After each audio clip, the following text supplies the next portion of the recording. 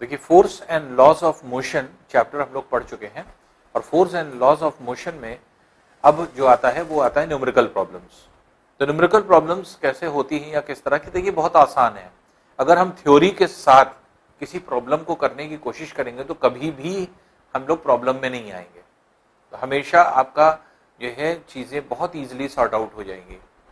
तो laws of motion में first law पर बेस्ड तो क्वेश्चन बनता नहीं, क्योंकि कोई फॉर्मूला नहीं है उस पर बेस्ड लेकिन सेकंड लॉ जो आपने पढ़ा था तो सेकंड लॉ ऑफ़ मोशन पे F is equal to M A अब दो फॉर्मूले आपने पढ़े थे, उन्हीं दो फॉर्मूलों पर देखिए क्वेश्चन हम लोग करने जा रहे हैं। जैसे, एक तो हम लोग ने पढ़ा था एक्सेलरेशन क्या होता है? Rate of change of velocity ये चेंज ऑफ़ वेलोसिटी है, और रेट ऑफ़ चेंज कह रहा है तो टी से डिवाइड कर दिया rate of change of velocity जिसमें से v क्या है? ये फाइनल वेलोसिटी थी, बाद की वेलोसिटी इसका मतलब कि बाद में कितनी वेलोसिटी है? U क्या है? इनिशियल वेलोसिटी पहले कितनी वेलोसिटी थी? वेलोसिटी मतलब आप समझ रहे हैं?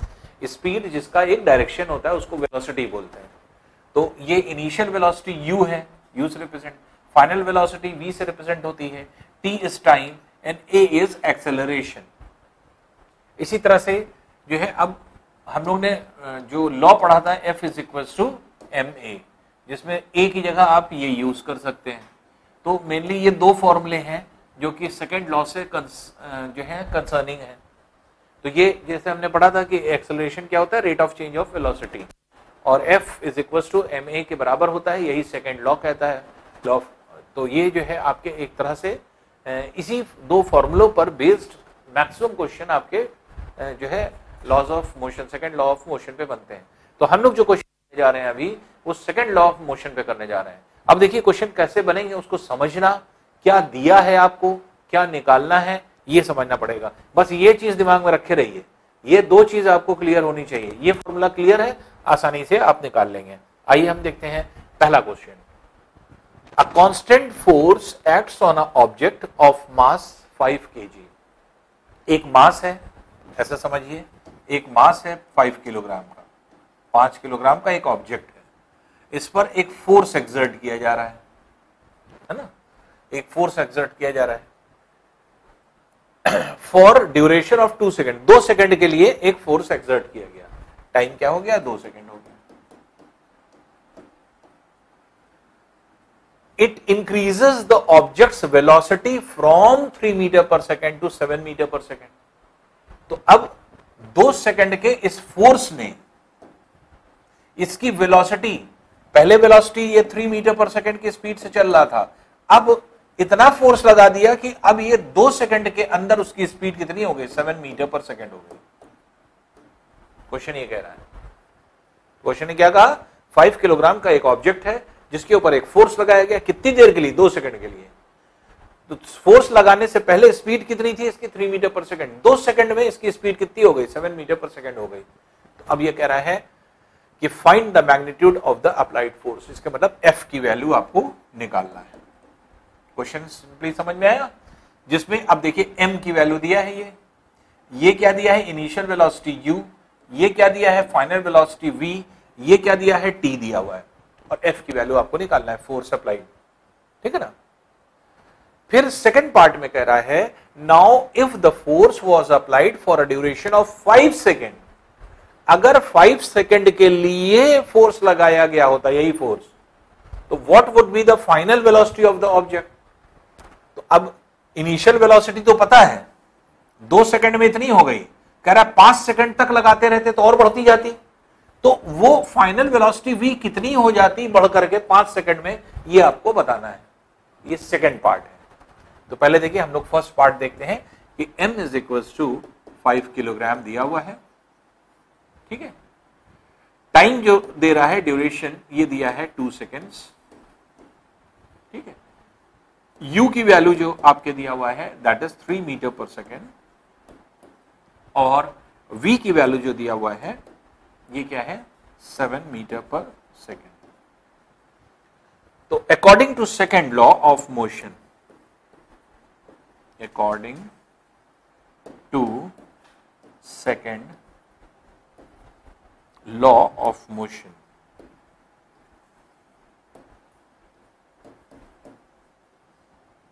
Is equal to M A equals to M into A की जगह क्या रख सकते हैं? V minus U upon T ये रख सकते हैं। M की वैल्यू पता है, v की वैल्यू पता है, u की वैल्यू पता है, t की वैल्यू पता है f निकल आएगा तो यहाँ पे क्या लिखेंगे हम?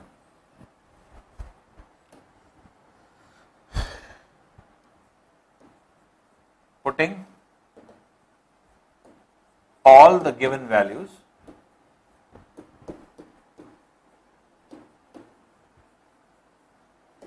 we get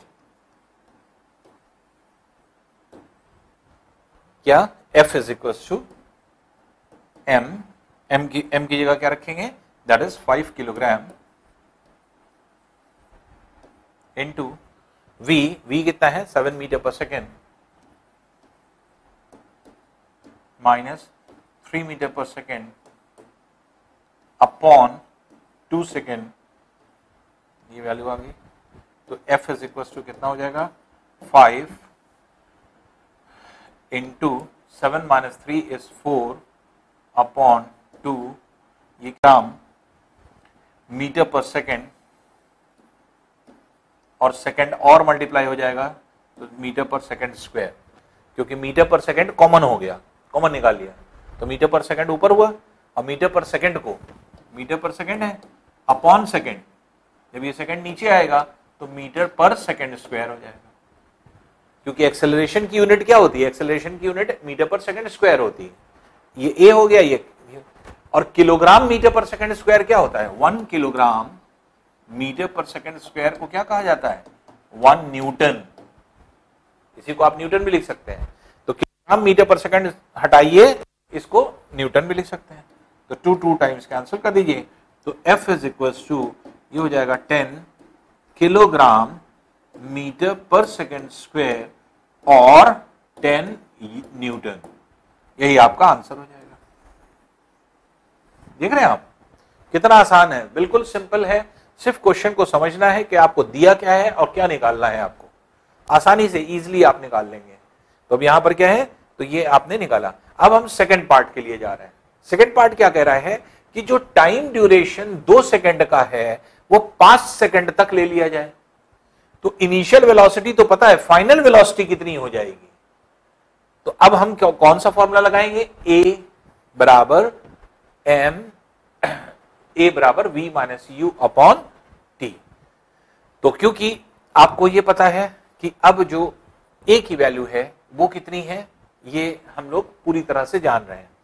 तो ये क्या है? आपको फोर्स पता है और इस फोर्स की हेल्प से चाहे निकाल लीजिए और चाहे आप ए बराबर वी माइनस यू अपॉन जो है आपके टी से निकाल लीजिए। तो हम किससे निकालने जा रहे हैं? एक्सेलरेशन वाले पॉइंट उससे निकालने जा रहे हैं, क्योंकि हमें पता है कि एक्सेलरेशन कितना है। ये आ रहा है आपके two metre per second two metre per second square तो अब देखिए, हम लोग कैसे निकालेंगे इसे? सेकेंड पार्ट ले चलते हैं।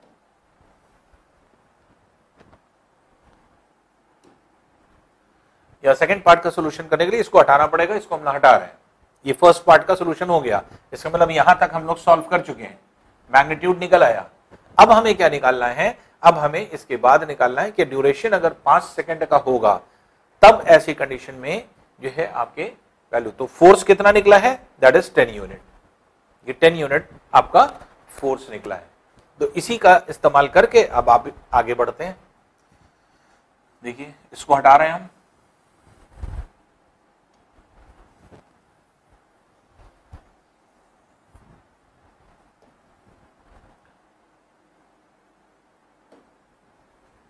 F is equals to m v minus U upon T ये दिया हुआ है। अब देखिए एफ़ जो है, वो कितना निकला है? Ten newton. ये टेन न्यूटन है। ये है फाइव किलोग्राम।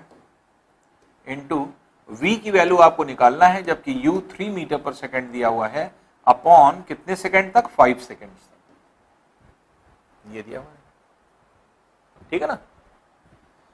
अब v की वैल्यू आपको निकालना है। फोर्स आपको पता है 10 न्यूटन या 10 kilogram metre per second square है। तो f की जगह हमने रख दिया। मास आपको 5 केजी का दिया हुआ है। मास हमने 5 केजी रख दिया है। U इनिशियल वेलोसिटी हमें पता है कि उसकी initial velocity 3 metre per second है। ये 7 मीटर पर सेकेंड कब हो गई थी? दो सेकेंड में। तो अब दो सेकेंड नहीं, बल्कि पाँच सेकेंड तक फोर्स लगता रहेगा। तो पाँच सेकंड तक जब फोर्स लगता रहेगा तो वेलोसिटी कुछ और हो जाएगी फाइनल वेलोसिटी। तो फाइनल वेलोसिटी की वैल्यू आपको निकालना है। तो फाइव फाइव से एलिमिनेट कर दीजिए यहाँ पे। ये हो जाएगा ten equals to V minus three three को इधर ले आइए तो ten plus three equals to V और वी इज़ इक्वल्स टू क्या हो जाएगा? Thirteen metre per second therefore, अब आंसर क्या लिखेंगे? Therefore, if the duration changes from 2 seconds to 5 seconds then the final velocity will be 13 meter per second square तो इसको हम लोग लिख दें अब ये सेकंड पार्ट का आपका आंसर हो गया तो if the duration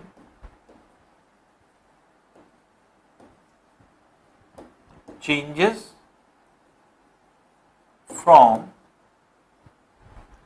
2 seconds to 5 seconds then the final velocity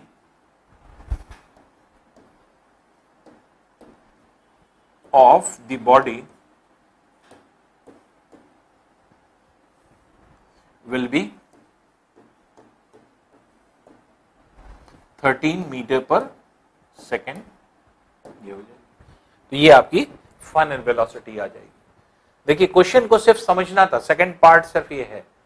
force लग रहा है फाइव किलोग्राम के मास पर।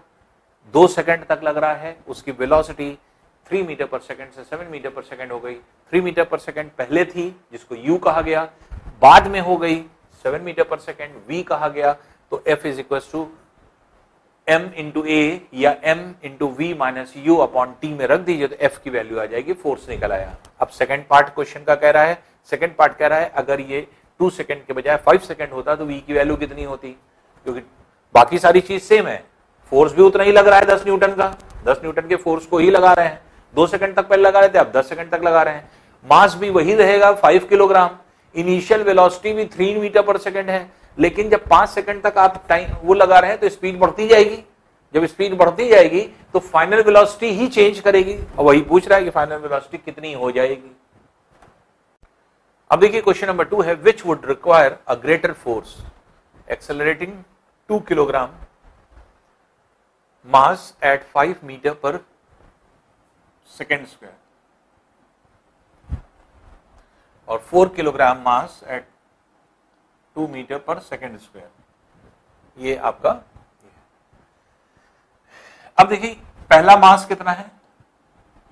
ये है टू किलोग्राम और इसकी एक्सेलरेशन कितना है? Five metre per second square तो M one is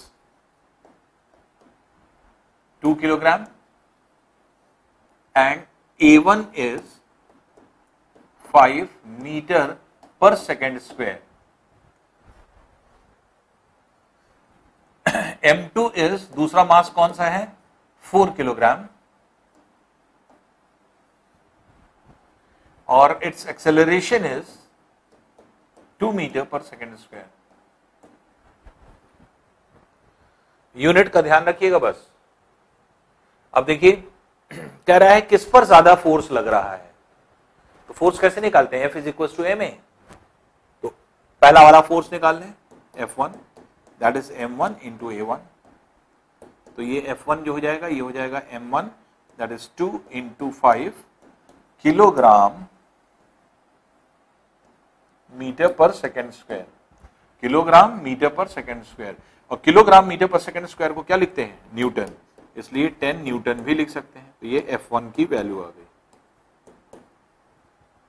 इसी तरह से सिमिलरली F2 निकाल लें। F2 two is equal to M two into A two ये वैल्यू हो गई। तो इसलिए F2 बराबर हो जाएगा M2 that is 4 into two kilogram metre per second square और kilogram metre per second square को क्या कहते हैं? न्यूटन तो इसलिए F two is equal to कितना हो जाएगा? एट न्यूटन इसके मतलब पहले वाली बॉडी पर टेन न्यूटन का फोर्स लग रहा है, दूसरी बॉडी पर एट न्यूटन का फोर्स लग रहा है, यही ये पूछ रहा है which would require a greater force किसको ग्रेटर फोर्स लगे, जो है, लग रहा है? किसको ग्रेटर फोर्स की ज़रूरत है? तो ten newton is greater than eight newton. F one is greater than F two hence first body first mass, that is 2 kg will need greater force than second mass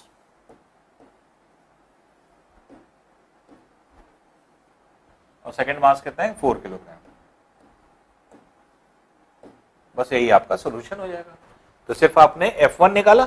F1 की value कितनी आ रही है? That is ten Newton F2 कितना निकाला? Eight Newton यही पूछ रहा है कि किस को ज़्यादा फोर्स चाहिए? तो पहली बॉडी को 10 न्यूटन फोर्स चाहिए। दूसरी बॉडी को 8 न्यूटन फोर्स चाहिए। F1 is greater than F2 hence the first mass will need greater force than second mass यही आपका आंसर हो जाएगा। अब देखिए क्वेश्चन क्या है? A motor car is moving with a velocity of 108 kilometre per hour and it takes 4 second to stop after brakes are applied calculate the force exerted by the brakes on the motor car if its mass along with the passenger is 1000 kilogram अब क्या है? एक motor car है, देखिए, ऐसा समझिए। एक motor car है। ठीक है? मोटर कार मूव कर रही है। किस स्पीड से? एक 108 किलोमीटर पर आर की स्पीड से जा रही है। अब ये क्या हुई? इसकी इनिशियल स्पीड यू की वैल्यू हो गई। लेकिन कि ये किलोमीटर पर आर में है, इसको हमें मीटर पर सेकंड में चेंज करना पड़ेगा। तो इसलिए मीटर पर सेकंड। अब एक ब्रेक लगाया गया। जब ब्रेक लगाया, इसके मतलब क्या होगा? यहाँ पे रिटार्डेशन डी डीसेलरेशन जिसको कहा गया था। एक एक्सेलरेशन पड़ा था। एक डीसेलरेशन डीसेलरेशन मतलब रिटार्डेशन रिटार्डेशन मतलब जो स्पीड को बढ़ाता नहीं, घटाता है तो जब ब्रेक लगाएँगे तो स्पीड घटेगी ना, घटते घटते घटते घटते ज़ीरो हो जाएगी। तो फाइनल स्पीड क्या हो जाएगी? ज़ीरो तो अब यहाँ पर क्या है? ये कह रहा है brakes are applied calculate the force exerted by the brakes on the motor car if its mass along with the passenger is 1000 इसका मतलब m की वैल्यू दिया हुआ है दैट इज़ 1000 किलोग्राम है पैसेंजर के साथ पूरी मोटर गाड़ी का जो मास दिया हुआ है इनिशियल वेलोसिटी अब टाइम कितना लगा? उसको रुकने में फोर सेकेंड का टाइम लगा। इनिशियल वेलोसिटी पता है फाइनल वेलोसिटी क्या होगी? फाइनल वेलोसिटी ज़ीरो होगी। क्योंकि रुकना है तो इसलिए अब देखिए, आपको m पता है, v पता है, u पता है, t पता है। तो f is equal to M into A वाला फॉर्मूला लगा देंगे, f की वैल्यू आ जाएगी और यही हमें निकालना है कि फोर्स कितना एक्सर्ट होगा। तो पहले हम u को कन्वर्ट कर लें। 108 किलोमीटर पर आवर अब देखिए, किलोमीटर पर आवर को हम कैसे कन्वर्ट करें? ऐसे तो हम आपको शॉर्ट ट्रिक भी बता सकते हैं कि 108 किलोमीटर पर आवर है। उसे 5 बाई एटीन से मल्टीप्लाई कर दिए तो मीटर पर सेकंड में अपने अपने आप ऑटोमेटिकली कन्वर्ट हो जाएगा। किलोमीटर पर आवर को इस मीटर पर सेकंड में अगर कन्वर्ट करना है तो फाइव बाई एटीन से मल्टीप्लाई कर दी। एटीन यहाँ पे सिक्स टाइम्स कैंसिल हो जाएगा six five thirty thirty metre per second speed में कन्वर्ट हो गया। ये शॉर्ट ट्रिक है, लेकिन कैसे आया ये फाइव बाई एटीन ये देख लीजिए। तो वन ज़ीरो एट ये है किलोमीटर। किलोमीटर मीन्स इसको मीटर में कन्वर्ट करना है तो एक किलोमीटर में कितने मीटर होते हैं? One thousand metre. Upon hour है वन आर में मीटर पर सेकंड में करना है तो वन आर में कितने सेकंड होते हैं? तो एक आर में साठ मिनट होते हैं और हर मिनट में साठ सेकंड होते हैं तो इसलिए एक घंटे में कितने सेकंड होंगे? तो सिक्सटी इंटू सिक्सटी। और इसको जब आप कैलकुलेट करेंगे तो फाइव बाई एटीन आ जाएगा, अपने आप। तो इसलिए ज़ीरो ज़ीरो ज़ीरो ज़ीरो, यहाँ से कैंसिल कर दीजिए। Two three times two five times ये कैंसिल हो जाएगा। इसी तरह से थ्री से इसको कैंसिल करेंगे। थ्री थ्री ज़ नाइन थ्री सिक्स ज़ एटीन और six three six six times तो सिक्स फाइव ज़ thirty thirty metre per second आ जाएगा। यू की वैल्यू आ गई। वी की वैल्यू कितनी है? ज़ीरो मीटर पर सेकेंड क्यों? क्योंकि ब्रेक लगा के रोकना है। ठीक है? टाइम कितना लग रहा है? गाड़ी को रुकने में फोर सेकेंड का टाइम लग रहा है। और मास कितना है? ये है वन थाउज़ेंड किलोग्राम का। तो फोर्स नीडेड विल भी क्या हो जाएगा? F is equal to M into A या फिर M into V minus U upon T क्योंकि एक्सेलरेशन की जगह आप क्या रख सकते हैं? V minus U upon T तो ये क्या हो जाएगा? F is equal to V upon इसको यहाँ पे कैलकुलेट कर लें। तो F is equal to F is equal to M M की जगह क्या रखेंगे हम? 1000 किलोग्राम 1000 किलोग्राम इंटू वी की जगह क्या रखेंगे? ज़ीरो ज़ीरो माइनस यू की जगह क्या रखेंगे? That is 30 metre per second 30 upon time कितना होगा? टाइम हो जाएगा फोर सेकेंड फोर तो ये जो आएगा किसमें आएगा? Kilogram metre per second square में आया। और kilogram metre per second square को क्या लिखते हैं? हम फोर्स लिखते हैं न्यूटन लिखते हैं। तो F बराबर हो जाएगा 1000 thousand into minus thirty upon four. ये न्यूटन हो जाएगा। Kilogram metre per second square लिखिए या न्यूटन लिखिए। फोर से इसको कैंसिल कर दीजिए। फोर टू फिफ्टी टाइम्स, इसलिए F is equal to minus seven five zero newton ये फोर्स अब माइनस साइन क्यों लग रहा है? माइनस साइन इसलिए लग रहा है क्योंकि जिस डायरेक्शन में गाड़ी जा रही थी ब्रेक लगाने की वजह से जो रिटार्डेशन लगेगा वो किधर डिफरेंट डायरेक्शन में। गाड़ी रुकेगी कैसे? जब सामने से जो है फोर्स लगे ना। तो इसलिए रिटार्डेशन जो है आपके इसको रिटार्डेशन को शो कर रहा है कि द जो ब्रेक्स लगाई जा रही हैं, वो अगेंस्ट द फोर्स लगाई जा रही हैं। तो negative sign shows brakes are applied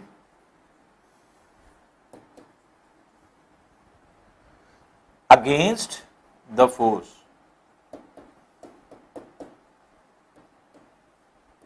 तो सिर्फ़ नेगेटिव साइन ये शो कर रहा है। आंसर क्या हो जाएगा? 7500 न्यूटन यही आपका आंसर हो जाएगा। देखिए क्वेश्चन नंबर 9.4 है। एग्ज़ाम्पल दिया है। A force of 5 newton gives a mass m1 an acceleration of 10 metre per second square and a mass m2 an acceleration of 20 metre per second square acceleration है तो metre per second square unit होगी। What acceleration would it give if both the mass were tied together तो देखिए ये conservation of momentum है M one V one plus M two V two बराबर M one plus M two into V आपने पढ़ा था ना? जैसे मोमेंटम कंजर्व्ड रहता है। तो M one U one plus M two U two दो बॉडी हैं एम वन एम टू इनकी इनिशियल वेलोसिटी ये है। तो इसका मोमेंटम और इसका मोमेंटम मिल करके, दोनों बॉडी जब मिल जाएगी एम वन एम टू तो इसकी वेलोसिटी से अगर हम मल्टीप्लाई करेंगे तो मोमेंटम हमेशा कंजर्व्ड रहता है। Law of conservation of momentum क्या कहता है? जो पहले मोमेंटम है, वही बाद में भी है। एक बॉडी एम वन मास की है यू वन वेलोसिटी चली जा रही है तो मोमेंटम कितना हुआ? मास इंटू वेलोसिटी मोमेंटम होता है। तो पहली बॉडी का मोमेंटम दूसरी बॉडी है अब एक एक बॉडी ये है, दूसरी बॉडी ये है, दोनों चली आ रही हैं। ये m1 मास है u1 वेलोसिटीज चली जा रही है m2 मास है u2 वेलोसिटीज चली जा रही है। अब टकराई, टकराने के बाद दोनों मिल गई, दोनों एक साथ जा रही है। जब दोनों एक साथ जा रही है, इसके मतलब अब टोटल मास कितना हो गया? M1 प्लस एम ये मास हो गया। अब कुछ और वेलोसिटीज जाएगी, ना तो ये वेलोसिटी रहेगी, ना ये वेलोसिटी रहेगी, कुछ नई वेलोसिटी रहेगी। तो इनिशियल मोमेंटम जो होता है, वो फाइनल मोमेंटम के बराबर होता है। यही है law of conservation of momentum तो मोमेंटम हमेशा कंजर्व्ड रहता है। तो m1 u1 ये पहले बॉडी का मोमेंटम है बिफोर कोलिजन कोलिजन से पहले, टकराने से पहले तो पहली बॉडी का जो है आपके मोमेंटम हो गया। दूसरी बॉडी का मोमेंटम बिफोर कोलिजन ये हो गया। तो टोटल मोमेंटम बिफोर कोलिजन कितना हो गया? ये हो गया। और total momentum after collision collision के बाद दोनों बॉडी मिल करके आगे बढ़ रही है। तो मास कितना हो गया? M1 m2 और u वेलोसिटीज जा रही है। तो इसलिए बिफोर कोलिजन जो मोमेंटम है, वही आफ्टर मोमेंटम कोलिजन हो जाता है और इसी के बेसिस पे आपके ये निकालते हैं हम लोग। तो अब देखिए कैसे निकालेंगे या किस तरह से निकालते हैं क्या क्या चीज़ें दी हुई हैं, ये देख लीजिए। जैसे फाइव न्यूटन का फोर्स दिया हुआ है। F is equal to M A होता है। आपको पता है ये?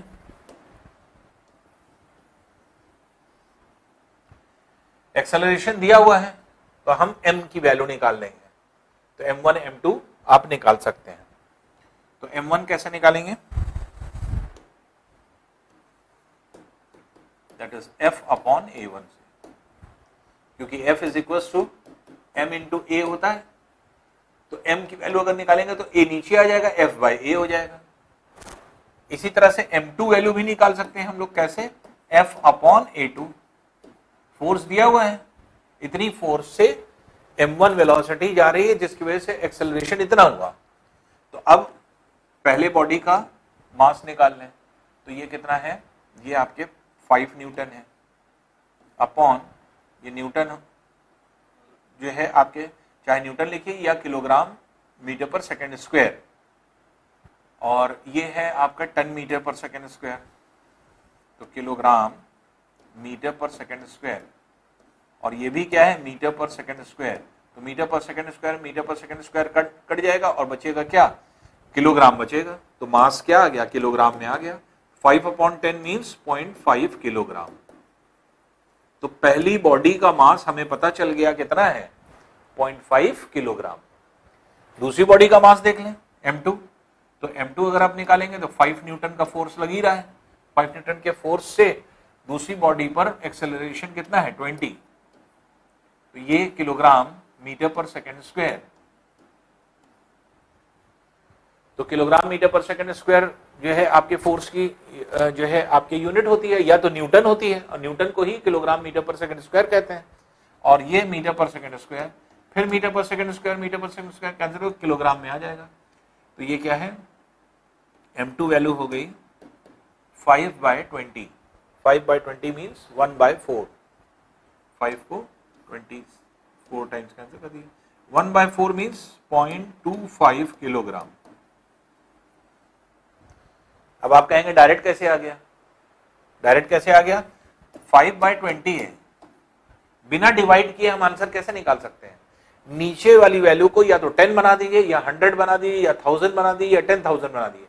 टेन कैसे बनेगा? टू से कैंसिल हो गया। क्या ऊपर टू से कैंसिल हो रहा है? नहीं हो रहा है। हंड्रेड बन सकता है। बन सकता है। कैसे? फाइव से नीचे, फाइव से ऊपर मल्टीप्लाई कर दीजिए। जो ऊपर करिए, वही नीचे करिए। ऊपर क्या हो गया? ट्वेंटी फाइव नीचे क्या हो गया? हंड्रेड। दो ज़ीरो कैंसिल करेंगे पॉइंट दो बार ऐसे ले आएँगे। आंसर क्या हो गया? पॉइंट टू फाइव देख रहे हैं? तो इसलिए point two five one by four क्या हुआ? पॉइंट टू फाइव किलोग्राम अब दोनों का मास निकल आया है। एम वन और एम टू हमारा निकल आया है। ठीक है?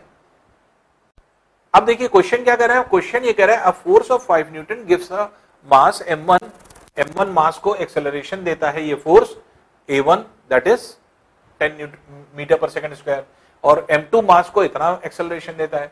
What acceleration would it give if both the mass were tied तो अगर दोनों मास को टाई कर दिया जाएगा तो कितना जो है आपके एक तरह से इससे जो है आपके एक्सेलरेशन मिलेगा। तो वो कैसे निकालेंगे? अब क्या है? अब देखिए, ये मोमेंटम का केस नहीं है, क्योंकि यहाँ पर क्या है? एक्सेलरेशन पूछ रहा है। एक्सेलरेशन पूछ रहा है। तो F is equal to M ही लगेगा। लेकिन अब दोनों बॉडी एक साथ मिल करके कितना एक्सेलरेशन दोनों बॉडी को एक साथ, ये फोर्स कितना एक्सेलरेशन देगा? तो वो कैसे निकालेंगे? F is equal to M one plus M two into A समझ रहे हैं? F is equal to M one plus M two into A क्योंकि अब ये फोर्स दोनों बॉडी को इकट्ठा कितना एक्सेलरेशन दे रहा है? ए की वैल्यू निकालना है। फोर्स की वैल्यू वही है फाइव न्यूटन ये फाइव न्यूटन है। M one plus M two ये दोनों मिल ही चुके हैं। तो पॉइंट फाइव मतलब पॉइंट फाइव ज़ीरो ज़ीरो चाहे जितना बढ़ाते जाइए आगे, कोई मतलब नहीं है। तो पॉइंट फाइव ज़ीरो और point five zero plus point two five kilogram A ये आ गया। इसको पहले फाइव इज़ इक्वल टू ये कितना हो जाएगा? Zero point seven five A और पॉइंट सेवन फाइव को अगर हम नीचे ले आए तो ए बराबर क्या हो जाएगा? ए बराबर हो जाएगा। इसको हटा दीजिए।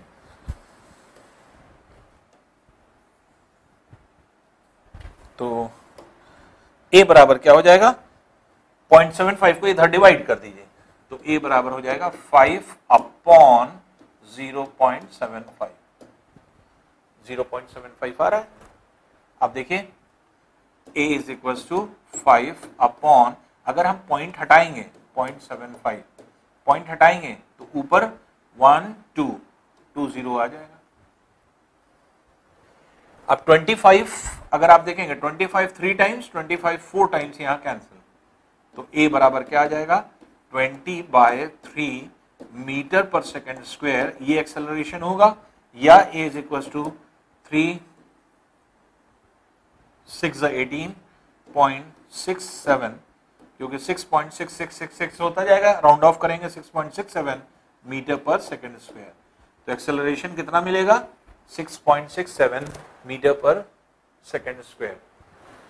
तो पहला स्टेप आपका ये होगा, उसके नीचे दूसरा स्टेप ये है M2 निकालना। फिर तीसरा स्टेप ये होगा आपका, जो है आपके एक्सेलरेशन निकालना। ये एक्सेलरेशन जो है आपके निकाल। तो क्वेश्चन क्या है? पहले ये समझ लीजिए। एक फोर्स है जिसने m1 मास को एक्सेलरेशन दिया 10 मीटर पर सेकेंड स्क्वायर। तो इससे हमने m1 निकाल लिया, क्योंकि f और a दोनों पता है। F भी पता है ए भी पता है। एक्सेलरेशन तो हमें मास निकल आया एम वन फिर कह रहा है, यही फोर्स दूसरे एम टू मास को इतना एक्सेलरेशन देता है। इससे हमने क्या निकाला? एम टू निकाल लिया एफ़ बाय ए टू करके। मास निकल आया। अब क्वेश्चन क्या कह रहा है? What acceleration would it give if both the masses were tied दोनों मास एक साथ अगर टाई कर दिए जाए तो यही फोर्स कितना एक्सेलरेशन देगा? ये निकालना है आपको। तो F is equal to m a फिर वही लगाइए फॉर्मूला जो सेकेंड लॉ है हमारा। तो सेकेंड लॉ में F is equal to m a है, उसी को लगा रहे हैं हम लोग। तो अब यहाँ पर क्या है? M one plus m two into a क्योंकि दोनों टाइट है, दोनों एक बॉडी बन गई। दोनों जो है बाँध दिए गए हैं। जब दोनों बाँध दिए गए, दोनों एक बॉडी बन गई तो दोनों का मास कितना हो गया? M one plus m two ये एक मास है। F is equal to m into a m की जगह क्या रखेंगे? M one plus m two क्यों? क्योंकि दोनों अब टाइड हो गए। और M1 M2 की वैल्यू पता है एफ़ की वैल्यू पता है ए निकालना है ए कैलकुलेट कर लिया गया। तो 6.67 मीटर पर सेकेंड स्क्वायर आंसर हो जाएगा। नेक्स्ट क्वेश्चन है, देखिए। The velocity time graph of a ball of mass 20 gram moving along a straight line on a long table is given in figure 9.9 ये दिया हुआ है। How much force does the table exert on the ball to bring it to rest एक table है। Question समझिए। ये table है। ठीक है? टेबल है। टेबल के ऊपर एक बॉल है। 20 ग्राम का एक बॉल है। और ये बॉल मूव कर रहा है। बॉल जो है मूव कर रहा है। तो अब ये कह रहा है कि स्ट्रेट लाइन में, कितना फोर्स टेबल एक्सर्ट करे। टेबल कैसे एक्सर्ट करेगी? फ्रिक्शन फोर्स जब एक फोर्स जब टेबल पे कोई चीज़ चल रही है तो टेबल क्या करेगी? रेजिस्ट करेगी। हमने आपको बताया, जब दो चीज़ जैसे हाथ रगड़ रहे हैं तो अगर एक हाथ आगे जा रहा है तो दूसरा हाथ उसको पीछे खींच रहा है तो ये क्या है? ये रेजिस्टिंग फोर्स है। इसको फ्रिक्शन फोर्स कहते हैं। और इसी फ्रिक्शन फोर्स की वजह से हीट एंड लाइट डेवलप होती है। तो जाड़े के दिनों में, सर्दी के दिनों में जब हम लोग के हाथ ठंडे हो जाते हैं तो हम लोग क्या करते हैं, ऐसा रगड़ लेते हैं। जब जैसे जैसे रगड़ते चले जाते हैं हीट आने लगती है। क्यों हीट आने लगती है? क्योंकि एक हाथ आगे गया तो दूसरा हाथ रोक रहा है, जिसकी वजह से फ्रिक्शन फोर्स डेवलप हुआ। और फ्रिक्शन फोर्स ने हीट डेवलप कर दी, गर्म हो गया। तो इसी तरह से ये कह रहा है कि टेबल कितना फोर्स लगाए कि ये बॉडी चलते चलते रुक जाए। बॉल जो है चलते चलते रुक जाए। बॉल का मास कितना है? 20 ग्राम। अब जरा सा वेलोसिटी देखिए। ये 20 सेंटीमीटर पर सेकंड इसकी वेलोसिटी थी। ज़ीरो होने में, ज़ीरो कैसे? ये ज़ीरो है। धीरे धीरे कम हुई। कब कम हुई? ये समय, ये टाइम है। एक सेकंड बाद इतनी हो गई, फिर दो सेकंड बाद इतनी हो गई, फिर चार सेकंड बाद इतनी हो गई फिर पाँच सेकंड बाद इतनी हो गई, फिर आठ सेकंड बाद इतनी हो गई, और फिर उसके बाद दस सेकंड बाद ये हो गई ज़ीरो तो ग्राफ से हमने ये देखा। तो टोटल टाइम कितना लगा? दस सेकेंड। कितनी स्पीड से? 20 सेंटीमीटर पर सेकंड से ज़ीरो सेंटीमीटर पर सेकंड हो गई। तो फोर्स कितना लगेगा, ये हम लोगों को निकालना है। तो फोर्स कैसे निकालेंगे? फोर्स आपको पता है, F is equal to m into a होता है। और F को कैसे निकालते हैं? M V minus u upon t acceleration यही था ना? अब देखिए मास आपको दिया है 20 ग्राम यहाँ पर जो वेलोसिटी है, इस वेलोसिटी को देखिए तो वेलोसिटी जो है 20 centimetre per second initial velocity जिस स्पीड से ये चल रहा था तो u का वैल्यू दिया है 20 सेंटीमीटर पर सेकेंड देख रहे हैं आप? लेकिन बाद में इस बॉल को रुकना है, रुकने का मतलब v की वैल्यू क्या हो जाएगी? Zero centimetre per second speed इसकी कितनी हो जाएगी? ज़ीरो हो जाएगी. रुकने का मतलब क्या हो जाएगा? ज़ीरो हो जाएगा. तो लास्ट की वेलोसिटी क्या हो जानी चाहिए? ज़ीरो होनी चाहिए. तो पहले 20 सेंटीमीटर पर सेकेंड है, जो कि जो है, आपके 10 सेकेंड में इसको रुक जाना चाहिए, क्योंकि ये दिखा रहा है टाइम टाइम 10 सेकेंड है, और वेलोसिटी कितनी हो रही है? Zero centimetre per second. तो u की वैल्यू कितनी है? 20 u की वैल्यू 20 है। v की वैल्यू कितनी है? जो है, आपके ज़ीरो। टी कितना है? 10 सेकंड का टाइम है, और मास दिया हुआ है आपको 20 ग्राम। तो अब यहाँ पर देख लीजिए कि जो है, आपके एक तरह से जो है आपको निकालना है कि फोर्स कितना एग्जर्ट होगा। यूनिट का थोड़ा सा ध्यान रखते हैं। यूनिट का ध्यान कैसे रखते हैं? अगर हमें न्यूटन में निकालना है वैल्यू को तो ऐसी कंडीशन में क्या होगा? तो ऐसी कंडीशन में जो है kilogram metre per second square होता है। तो किलोग्राम ये तो ग्राम में है। देख रहे हैं ना? ये ग्राम में है तो इसको किलोग्राम में कन्वर्ट कर लें, अगर न्यूटन में निकालना है तो। और जो वेलोसिटी है, उसको मीटर पर सेकंड में कन्वर्ट कर लें। तो इस, वही हम लोगों को यहाँ पर करना होगा। तो पहले देखिए मास जो है, ये कितना है? 20 ग्राम इसको 1000 से अगर हम डिवाइड कर दें ट्वेंटी को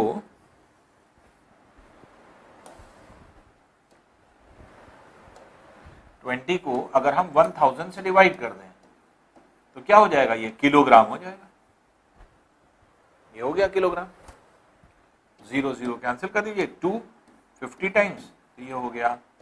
या two by hundred point two कर दीजिए सीधे डायरेक्ट कैंसिल करने की ज़रूरत ही नहीं है।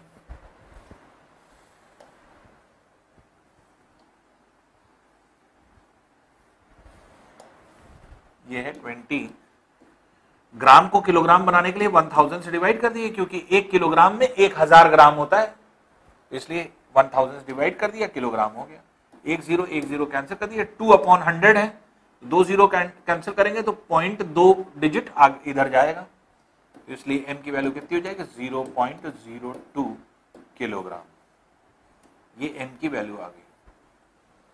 एम हो गया। ठीक है ना? तो हम लोग एम इस तरह से निकाल लेंगे। ठीक? उसी तरह से वी और यू को चेंज कर दिए मीटर पर सेकेंड में। अब v और u को चेंज कर दीजिए। तो v तो मीटर पर सेकंड मान लेंगे हम लोग। ज़ीरो जब है तो वो सेंटीमीटर पर सेकंड में भी होगा, मीटर पर सेकंड में भी वही होगा। तो u की वैल्यू आप देखिए चेंज कर लीजिए। तो u की वैल्यू कैसे चेंज करेंगे? तो हम लोग देखिए, करेंगे कैसे इसको? पहले हम निकाल लें m सोल्यूशन आपका कैसे होना चाहिए? M की वैल्यू है 20 ग्राम इसको हम कैसे लिखेंगे? ये हो जाएगा 20 upon 1000 kilogram. Zero zero, cancel कर दीजिए। ये क्या हो जाएगा? Two upon hundred means zero point zero two. Point यहाँ होता है? One, two. टू डिजिट जब पीछे आएगा पॉइंट तो दो डिजिट, दो ज़ीरो यहाँ से कट जाएगा। इसके मतलब पॉइंट ज़ीरो टू किलोग्राम हो गया। वी वेलोसिटी कितनी है? Zero metre per second. U velocity कितनी है? Twenty centimetre per second. Centimetre को हंड्रेड से डिवाइड कर दें, क्योंकि एक मीटर में कितने सेंटीमीटर होते हैं? एक मीटर में कितने सेंटीमीटर होते हैं? Hundred centimetre. तो अगर हंड्रेड से डिवाइड कर दें, मीटर में कन्वर्ट हो जाएगा। तो ट्वेंटी अपॉन हंड्रेड कर दें तो ये ऑटोमेटिकली मीटर पर सेकेंड हो जाएगा। ठीक है ना? सेंटीमीटर था तो हमने हंड्रेड से डिवाइड कर दिया तो मीटर में कन्वर्ट हो गया। ज़ीरो ज़ीरो कैंसिल कर दीजिए। ये कितना हो गया? Zero point two metre per second. ये आ गया। अब ये क्या है? टाइम कितना लग रहा था? यहाँ पे आप देखें तो ज़ीरो से लेकर के टेन टेन सेकेंड्स का समय लग रहा था। बीस सेंटीमीटर पर सेकेंड से ज़ीरो सेंटीमीटर पर सेकेंड आने में कितना टाइम लग रहा है इसको? दस सेकेंड का टाइम लग रहा है। तो टाइम जो लग रहा है वो दस सेकेंड है। टाइम जो है वो टेन सेकेंड्स का है। तो F is equal to m v minus u by t ये हो जाएगा। अब न्यूटन में आंसर आ जाएगा। क्यों? क्योंकि किलोग्राम में आपने ये रखा है और मीटर पर सेकंड में वी और यू है। तो m की वैल्यू कितनी है? M की वैल्यू है 0.02 इंटू वी की वैल्यू ज़ीरो है। U की वैल्यू कितनी है? U की वैल्यू है 0.2 अपॉन 10 ये किसमें निकलेगा? ये निकलेगा न्यूटन में। अब यहाँ देख लीजिए एफ़ इज़ इक्वल टू क्या हो जाएगा? ये हो जाएगा 0.02 इंटू ज़ीरो माइनस ये माइनस ज़ीरो पॉइंट टू हो जाएगा अपॉन टेन न्यूटन। माइनस और प्लस माइनस हो जाएगा टू टू से फोर और पॉइंट से पहले पॉइंट के बाद यहाँ एक डिजिट है, यहाँ दो डिजिट है। इसलिए दोनों को मल्टीप्लाई करने पर जो है आपके एक, दो, तीन पॉइंट के बाद तीन डिजिट होनी चाहिए। पॉइंट इसके मतलब यहाँ आएगा अपॉन टेन ये न्यूटन में है। अब एक ज़ीरो और हटाएँगे तो ये पॉइंट एक और इधर आ जाएगा। तो इसलिए zero point zero zero zero four newton ये आंसर हो जाएगा। और माइनस साइन के साथ। तो माइनस साइन क्या शो कर रही है? माइनस साइन ये शो कर, जिस डायरेक्शन में बॉल जा रहा था तो जो आपके, उसके अपोजिट डायरेक्शन में टेबल क्या करेगी? फोर्स एग्जर्ट करेगी उसको रोकने के लिए। तो टेबल क्या है? अपोजिट डायरेक्शन में फोर्स लगा रही है। तो negative sign shows that the force exerted by by the table on the ball will be in opposite direction.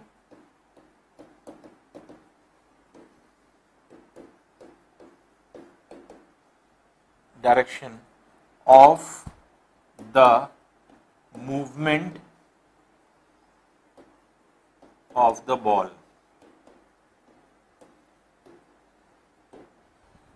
ठीक है ना? तो नेगेटिव साइन क्या शो कर रही है? जिस डायरेक्शन में बॉल मूव कर रहा था, उसके अपोजिट डायरेक्शन में कौन जो है आपके फोर्स लगा रहा है टेबल फोर्स लगा रहा है, जिससे कि ज़ीरो जो है आपके इसकी जो है स्पीड हो जाए। तो थोड़ा सा देखिए टेक्निकल है। समझ लिए बहुत आसान है। डायरेक्ट फॉर्मूले पर है, क्या दिया है, क्या चीज़ निकालना है, डायग्राम से सिर्फ़ समझना पड़ेगा। एक दो बार भी अगर आप समझ लेंगे तो आसानी से क्वेश्चन आपका निकलने लगेगा। अब देखिए 9.6 है a bullet of mass 20 gram is horizontally fired with a velocity 150 metre per second from a pistol of mass 2 kilogram what is the recoil velocity of a pistol अब देखिए, यहाँ पे बुलेट जो है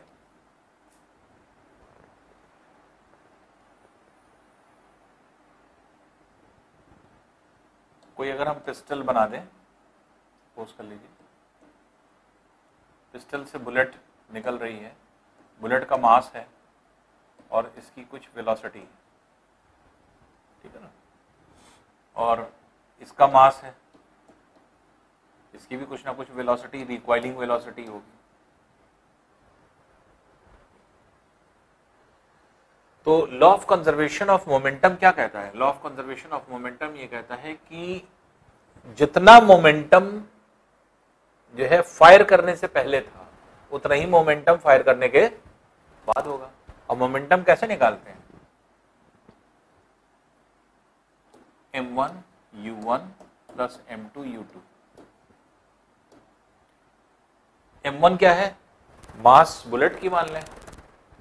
और u1 क्या है? वेलोसिटी बुलेट की मान लें इनिशियली इनिशियली m2 क्या है?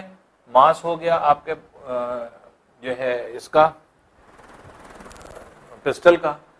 और u2 क्या है? इनिशियल वेलोसिटी जब गन हम लिए हुए हैं तो बुलेट भी वहीं पर है पिस्टल भी वहीं पर है तो दोनों की वेलोसिटी क्या है? ज़ीरो इसके मतलब u1 भी ज़ीरो है u2 भी ज़ीरो है. इसलिए इनिशियली कंजर्वेशन कितना है? ज़ीरो है. तो लास्ट में भी ज़ीरो रहेगा जब फायर किया जाएगा।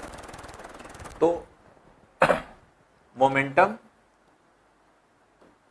मोमेंटम बिफोर फायरिंग कैसे निकालेंगे? M1 u1 plus m2 u2 m1 मास हो गया। इस मास को ग्राम में है, ये मीटर पर सेकेंड है। इसको भी किलोग्राम में कन्वर्ट कर दी, ये किलोग्राम में क्योंकि है ही है। तो 20 को 1000 से डिवाइड कर दें, ये किलोग्राम हो जाएगा। किलोग्राम इनटू जब फायर नहीं किया है तो बुलेट भी यही इसी के अंदर है, जिसकी वेलोसिटी ज़ीरो है। और पिस्टल की भी वेलोसिटी ज़ीरो है, रुकी हुई है। इसलिए U1 की वेलोसिटी भी ज़ीरो हो जाएगी और M2 जो कि दो किलोग्राम है इंटू ज़ीरो हो जाएगी। तो anything multiplied by zero is zero plus zero ये क्या हो जाएगा? ज़ीरो तो मोमेंटम बिफोर फायरिंग क्या हो गया? ज़ीरो हो गया। मोमेंटम आफ्टर फायरिंग भी क्या रहेगा? ज़ीरो ही रहेगा। तो मोमेंटम आफ्टर फायरिंग निकाल लें मोमेंटम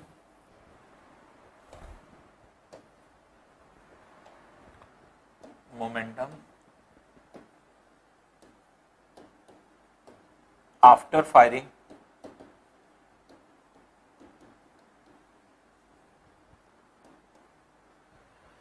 तो मास बुलेट की कितनी है? 20 ग्राम है 1000 से डिवाइड कर दिया, किलोग्राम हो गया। ठीक? और इसकी वेलोसिटी कितनी है? 150 मीटर पर सेकेंड।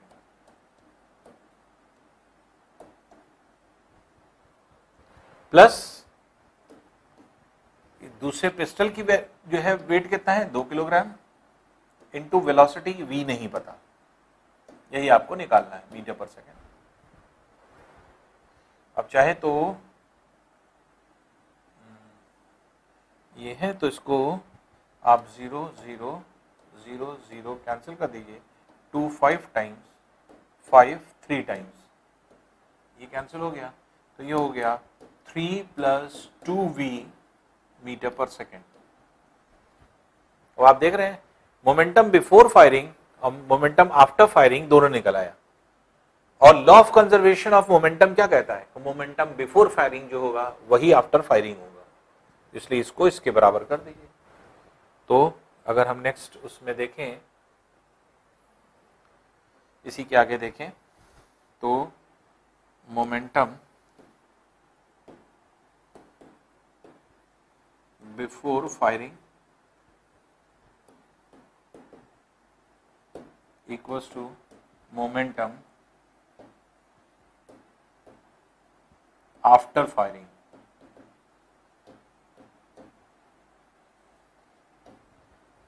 तो zero equals to three plus two v three को इधर ले आइए।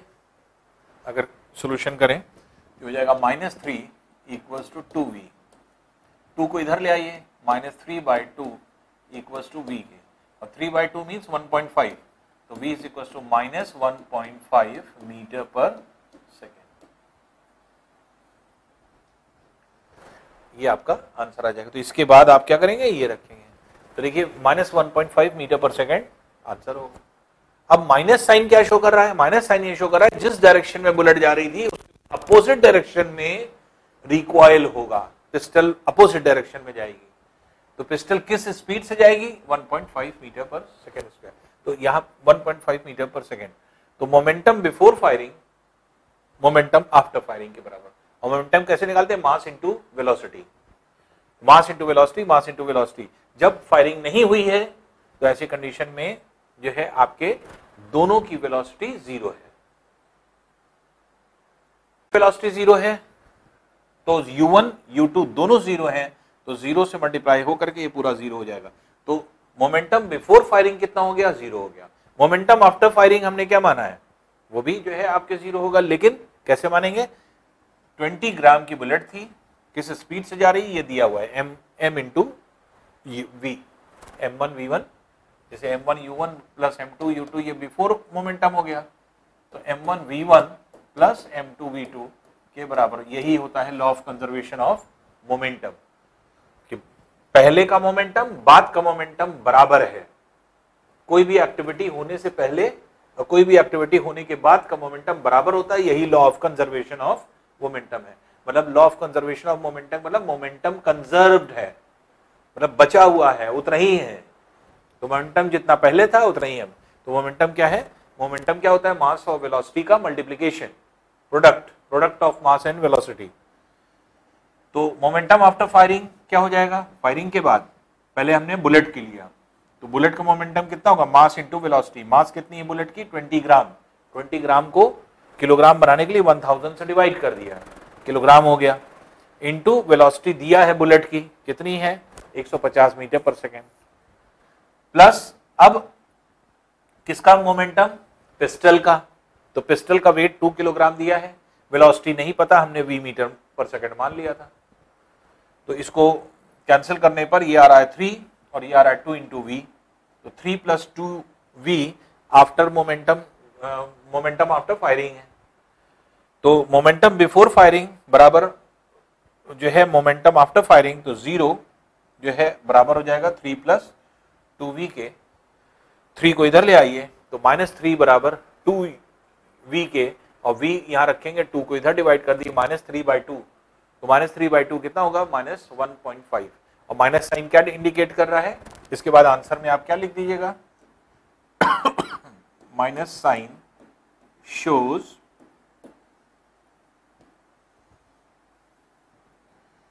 recoiling velocity of gun या पिस्टल। रिकॉइलिंग के मतलब क्या होता है? रिकॉइल करने का मतलब उल्टा। जिधर बुलेट जा रही है, उसके विपरीत, उसके अपोजिट। तो रिकॉइल रिकॉइल करने का मतलब। इधर जा रही है, इसका अपोजिट जा रही है। तो रिकॉइलिंग स्पीड को दिखा रहा है। ठीक है? अब देखिए, क्वेश्चन नंबर 9.7 है example A girl of mass 40 kg jumps with a horizontal velocity of 5 metre per per on to a stationary cart. With frictionless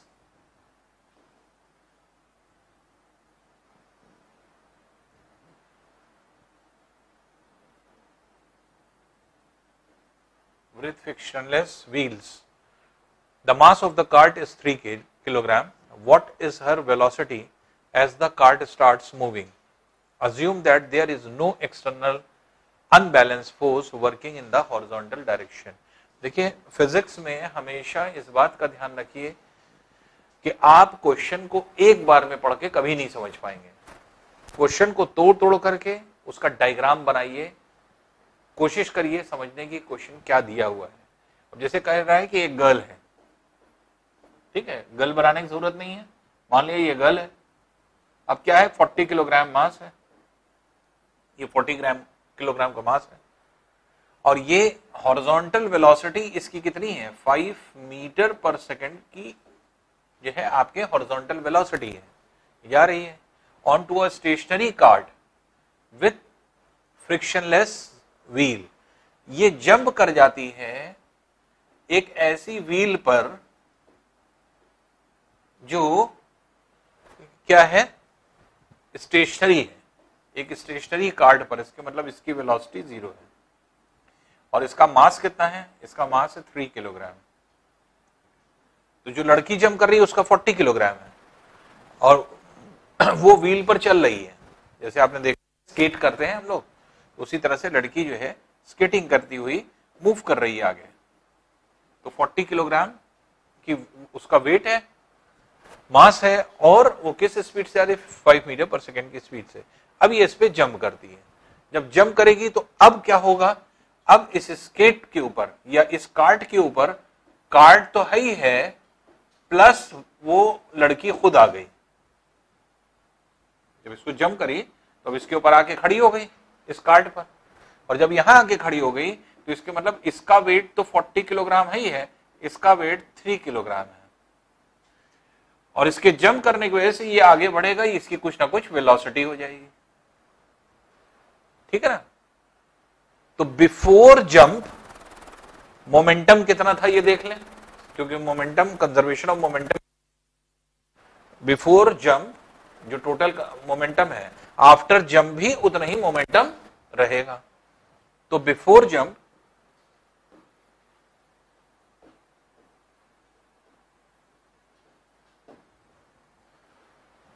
total momentum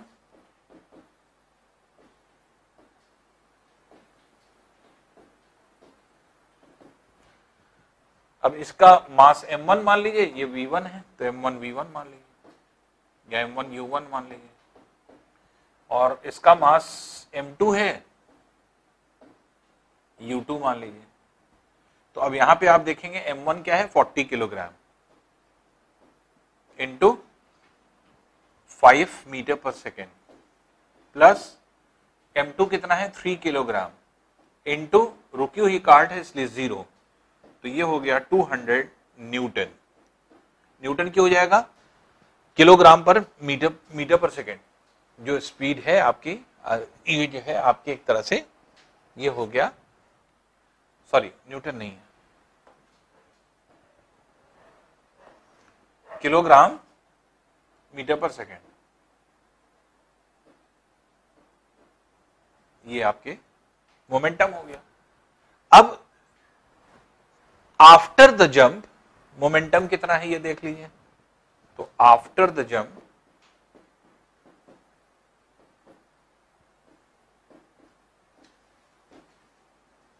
total momentum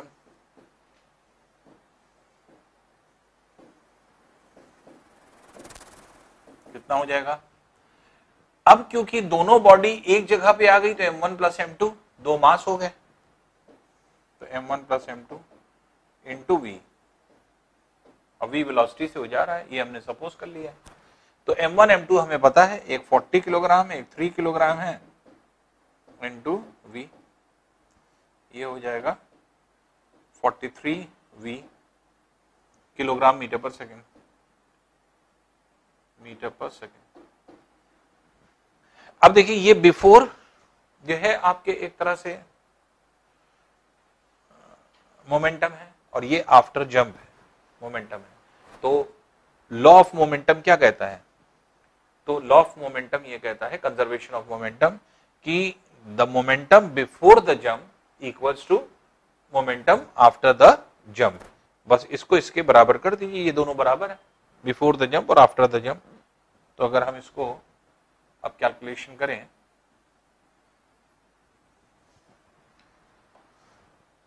तो देखिए 43v वी इक्वल्स टू 200 इसलिए v बराबर हो जाएगा 200 hundred by forty metre per second ये speed हो जाएगी। तो v बराबर 4 पॉइंट समथिंग अब 43 से इसको डिवाइड कर लीजिए। तो 43 को 200 से डिवाइड किया। फोर टाइम्स जाएगा। फोर थ्री से twelve one seventeen one seventy two अब क्या बचा? ट्वेंटी एट ज़ीरो आएगा पॉइंट लगाने पे। टू एट्टी आ रहा है फोर सिक्स टाइम्स जाएगा। फोर पॉइंट सिक्स समथिंग आएगा। Four point six metre per second कुछ करके ये हो गया। तो ये क्या हो जाएगी? ये आपका वेलोसिटी हो जाएगी और यही निकालना है। What is the her velocity as the card starts moving तो वेलोसिटी आपकी निकल आएगी, कितनी होगी? तो 4.6 मीटर पर सेकेंड के इक्विवेलेंट हो जाएगी। नेक्स्ट है देखिए two hockey players of opposite teams while trying to hit a hockey ball on the ground, collide and immediately become entangled. Entangle मतलब अक्सर आपने देखा होगा गेम हो रहा है। जैसे हॉकी और फुटबॉल में बहुत होता है कि एक प्लेयर इधर से आया, एक प्लेयर इधर से आया और दोनों जो है आपके एक दूसरे से चिपट गए और चिपट करके गिरे एक साथ। तो जब एक दूसरे से मिल जाते हैं तो उसी को एंटेंगल कहा जाता है। तो दोनों आए कोलाइड किया कोलाइड किया मतलब टकराए, टकरा करके कोलाइड करके जो है आप एंटेंगल हो गए। One has a mass of 60 kilogram अब ऐसे मान लें कि एक जो है पर्सन है, जो 60 किलोग्राम का है, और इसकी वेलोसिटी जो है, ये आपके दी हुई है 5 metre per second 5 metre per second की स्पीड से सपोज़ कर लिए, इधर भाग रहा है हॉकी लेकर के। दूसरा जो पर्सन है ये क्या है? ये कितना मास है इसका?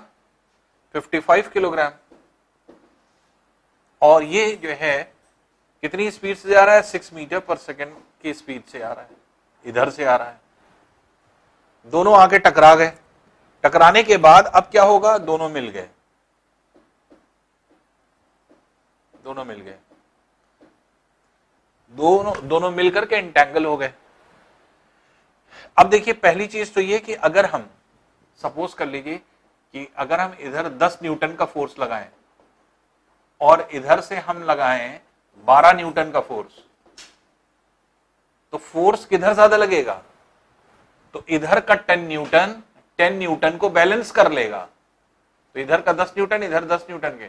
और यहाँ पर दो न्यूटन और बचा रह जाएगा, क्योंकि दो न्यूटन ज़्यादा है तो वो दो न्यूटन क्या करेगा? इस बॉडी को इधर ढकेल देगा।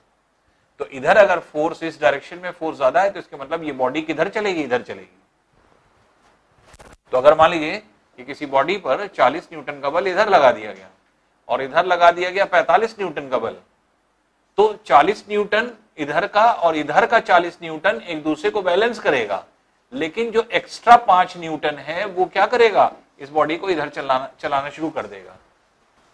तो इसलिए जिधर ज़्यादा बल होता जिधर ज़्यादा फोर्स होता है तो वो जो है इसको मूव कराने लगता है। तो यही चीज़ होता है कि जैसे मान लीजिए सपोज़ कर लीजिए, अगर हम यहाँ पर समझें इसको, कि अगर कोई दो फोर्सेस हैं F1 और F2 और F2 is greater than F1 F1 से बड़ा है F2 तो इसका रिजल्टेंट फोर्स क्या होगा? इधर लगेगा और कितना हो जाएगा? F2 minus F one resultant force के मतलब क्या है? कि जो फोर्स इसको चलाए, अगर F1 ज़्यादा है तो इधर की तरफ़ बॉडी चलने लगेगी। किस फोर्स से? F1 माइनस एफ़ से चलेगी। उसी तरह से यहाँ पर भी देखना है मोमेंटम इधर लग रहा है और इधर मोमेंटम लग रहा है। दोनों में से किसका मोमेंटम ज़्यादा है? तो एक मोमेंटम तो ये मास इंटू वेलोसिटी मोमेंटम होता है एम इंटू वी तो सिक्सटी इंटू फाइव कितना हो गया? Three hundred three hundred momentum इधर लग रहा है। और इधर कितना लग रहा है? Six five thirty three thirty three तो थ्री थर्टी इधर लग रहा है। तो ओवरऑल ये पता हो गया कि जब दोनों मिलेंगे तो इधर से थ्री थ्री हंड्रेड इधर थ्री थर्टी लग रहा है। इसके मतलब ये दोनों मिल करके किधर की तरफ़ आएँगे? जो सेकंड वाला जिस डायरेक्शन में भाग रहा था, उसी डायरेक्शन में भागते चले आएँगे। दोनों एंटेंगल होकर के, एक इधर से आ रहा था, एक इधर से आ रहा था, लेकिन इधर वाला फोर्स ज़्यादा है, इधर से आने वाले का। तो ऐसी कंडीशन में मोमेंटम ज़्यादा होने को ऐसे इधर एंटेंगल हो जाएँगे। मतलब दोनों इधर गिर जाएँगे। तो इसके मतलब इस डायरेक्शन में आएँगे। और मोमेंटम आप देख लीजिए कि मोमेंटम इस डायरेक्शन में कितना होगा इसका। तो इसको कैसे निकालते हैं, देखिए। इसको इस तरह से निकालते हैं कि जो मोमेंटम है बिफोर कोलिजन कितना मोमेंटम है? तो बिफोर कोलिजन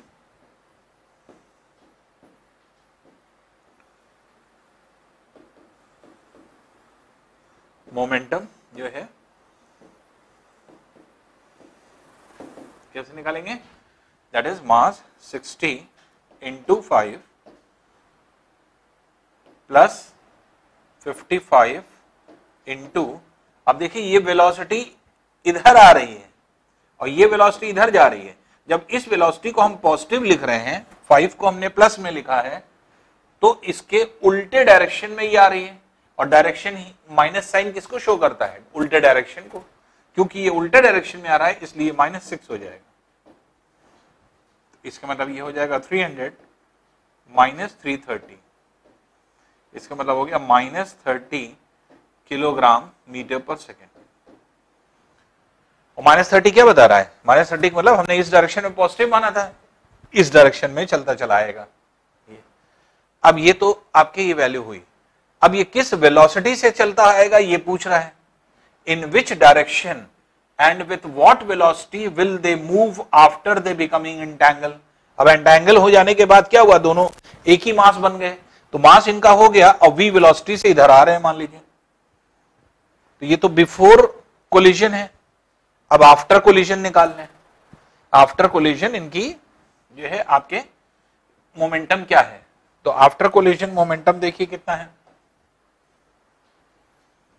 तो collision after momentum after collision momentum after collision ये कितना हो जाएगा? अब दोनों क्योंकि एंटेंगल हो गए और एंटेंगल हो जाने की वजह से आपके क्या हो गए? दोनों का मास इक्वल हो जाएगा। मतलब बराबर ऐड हो जाएगा। अब दोनों का मास ऐड कर लें। That is 60 plus 55 into V V velocity से इधर चले आ रहे हैं। तो अब ये क्या हो जाएगा?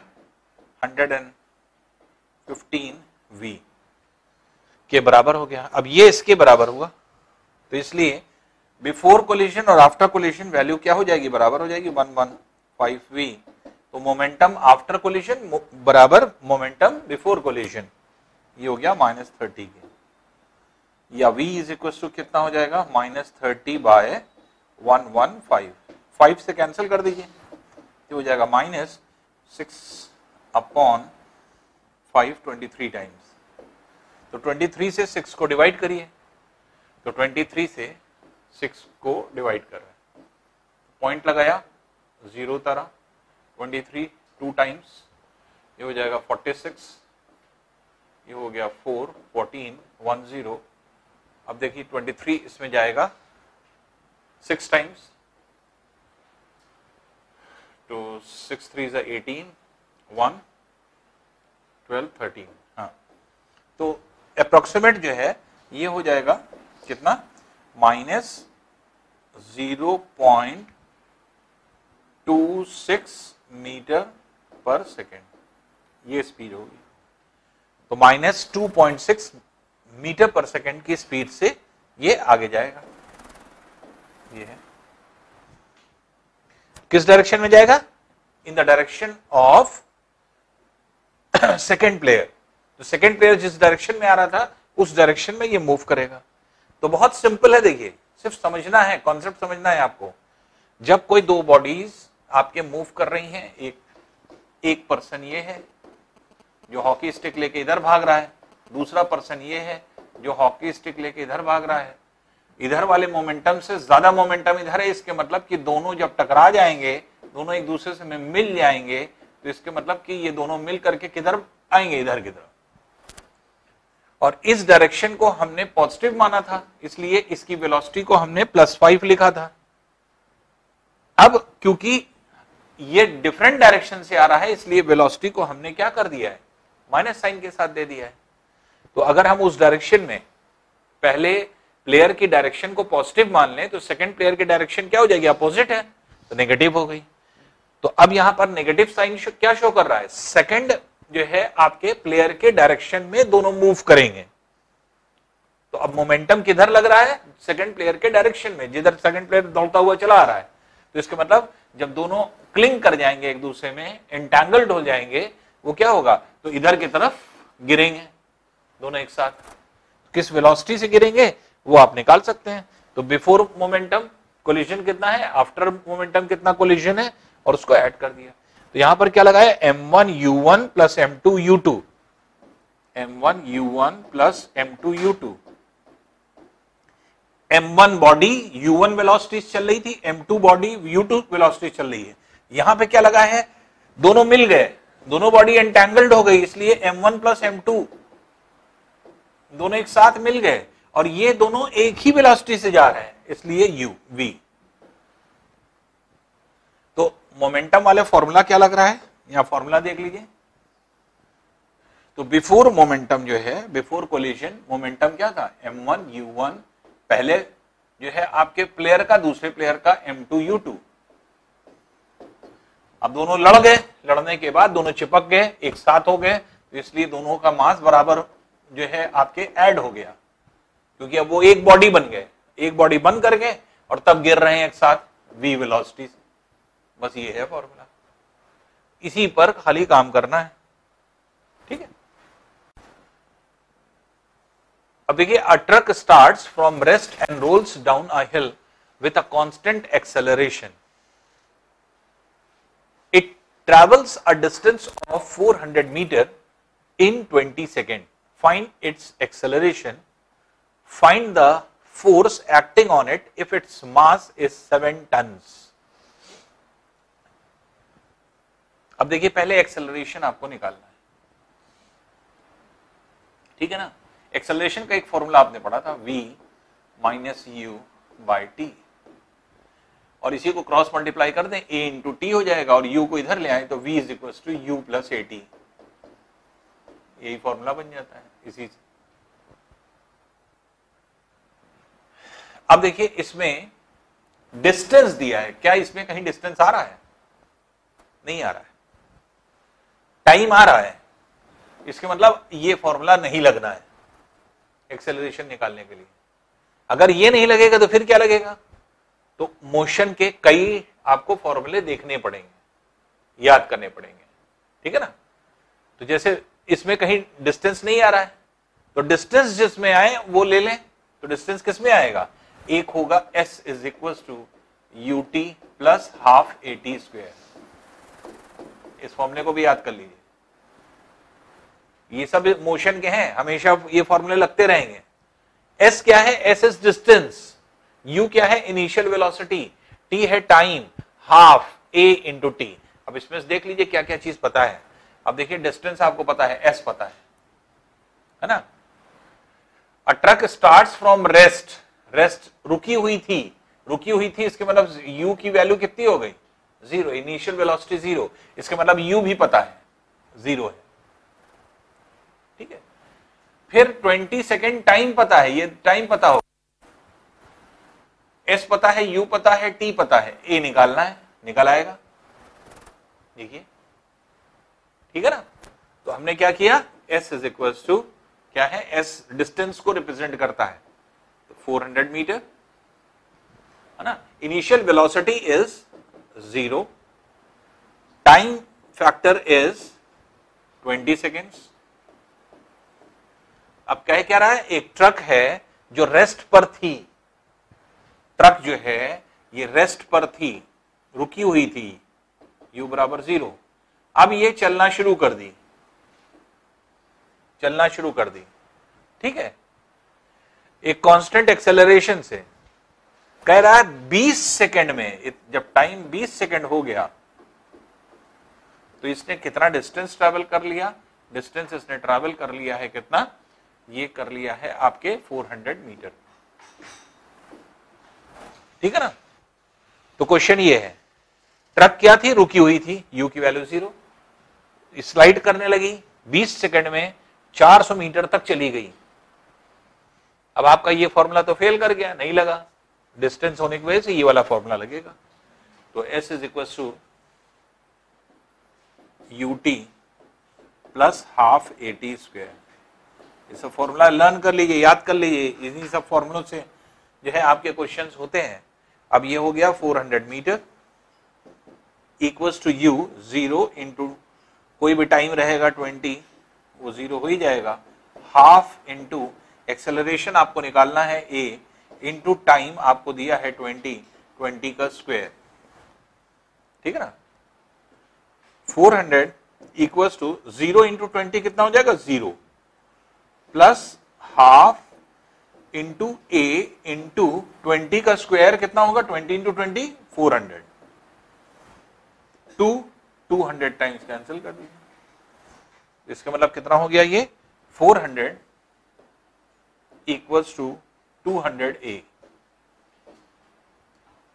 two hundred को इधर ले आइए। तो four hundred upon two hundred equals to A और two hundred two times cancel कर दिए ए बराबर क्या आ जाएगा? Two metre per second square तो metre per second square therefore the acceleration is two metre per second square तो पहला पार्ट आपका आ गया एक्सेलरेशन अब हम आएँगे सेकेंड पार्ट पे. सेकेंड पार्ट क्या है? Find the force acting on it if its mass is seven ton अब देखिए, एक टन बराबर किसके होता है? एक हज़ार किलोग्राम के. कोई ज़रूरी नहीं कि आपको दिया रहे, आपको पता होना चाहिए। One ton is equal to one thousand kilogram जबकि आपको हिंट दे दिया है क्वेश्चन में कि one ton is equal to one thousand kilogram अब ये कह रहा है, जो ट्रक है, इसकी मास जो है, ये कितना है? सात हज़ार किलो है। सात हज़ार किलो की ट्रक है पूरी। अब एक्सेलरेशन क्योंकि पता ही चल गया है। अब ये ए एक्सेलरेशन से जा रही थी। कितना फोर्स आगे लग रहा है चलने में? तो आपको पता है F is equal to M into A होता है। होता है ना? एम पता है ए पता है एफ़ निकल आएगा। फोर्स आपको निकालना है। तो एफ़ इज़ इक्वल टू क्या हो जाएगा?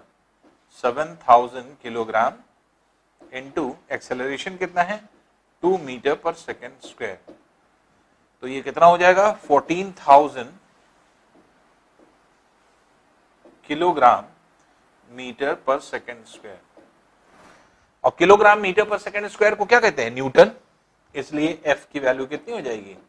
Fourteen thousand newton. बस क्वेश्चन की आउटलाइन समझिएगा। बहुत आसान होता है निकालना फिजिक्स के। बस ये है, और लिमिटेड फॉर्मूले हैं, उन्हीं फॉर्मूलों से निकलता है। एक ट्रक थी, जो रुकी हुई थी रेस्ट पे थी, इसलिए यू की वैल्यू क्या हो जाएगी? ज़ीरो चलना शुरू कर दी कह रहा है 20 सेकंड में 400 मीटर तक चली गई। इसका एक्सेलरेशन निकालिए। ये कह रहा है। तो एक v एक्सेलरेशन का फॉर्मूला क्या होता है? V by v minus U upon T क्योंकि rate of change of velocity is known as acceleration ये हम लोग पढ़ते चले आए हैं।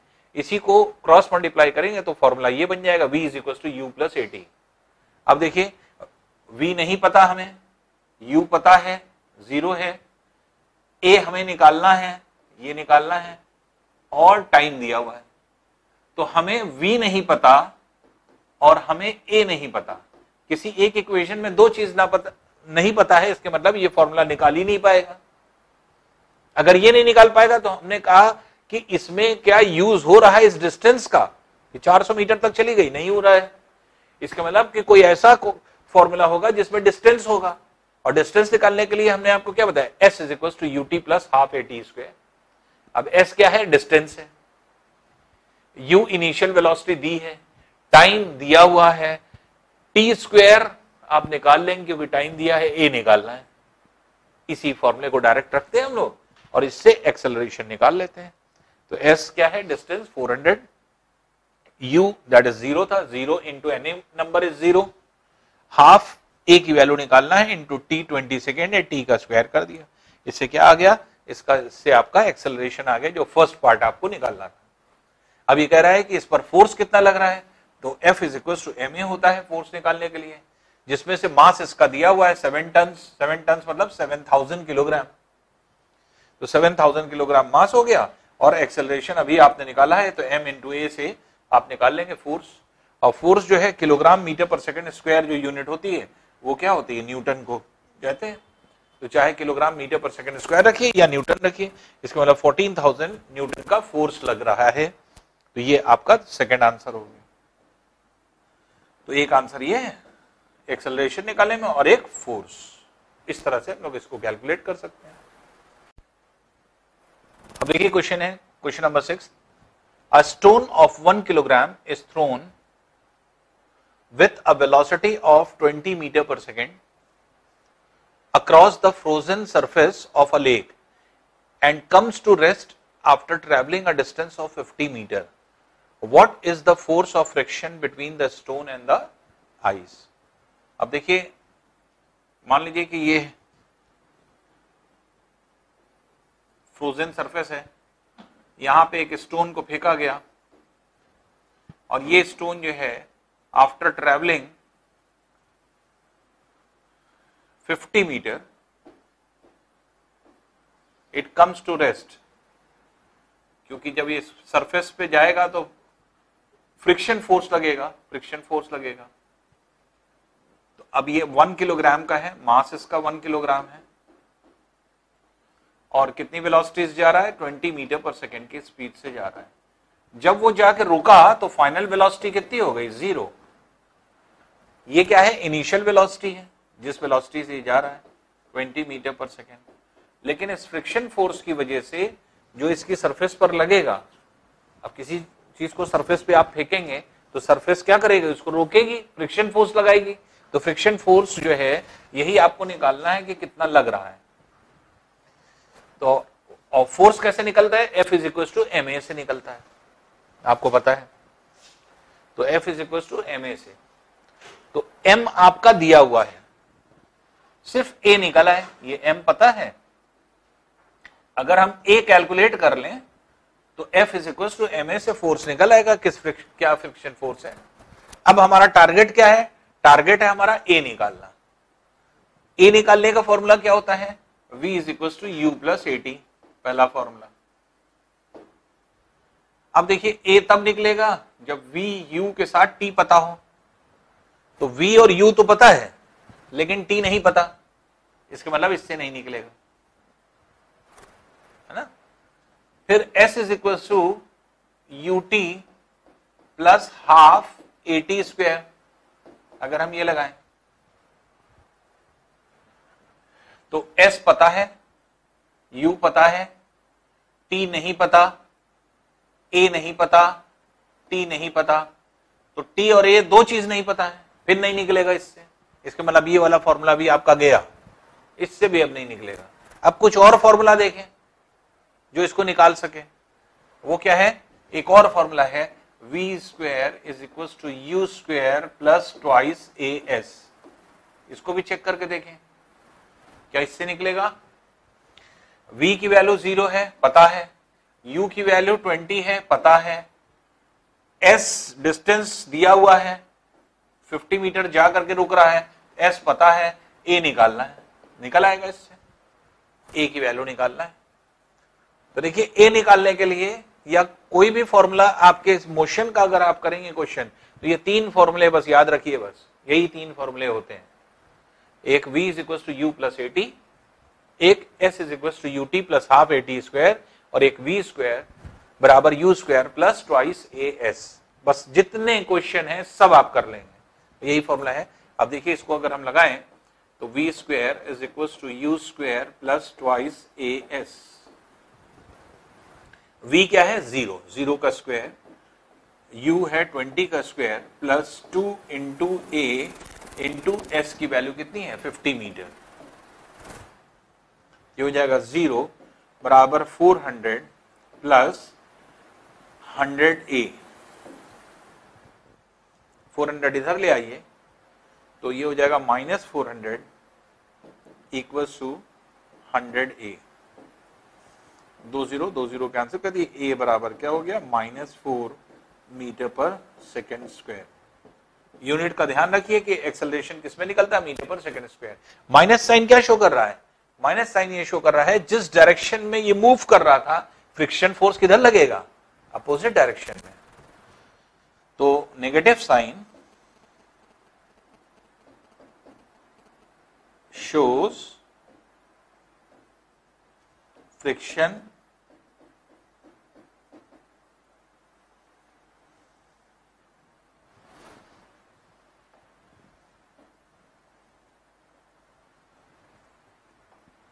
shows direction of friction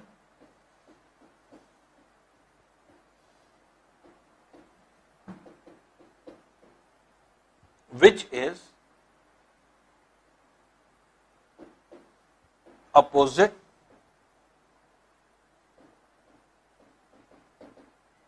to the motion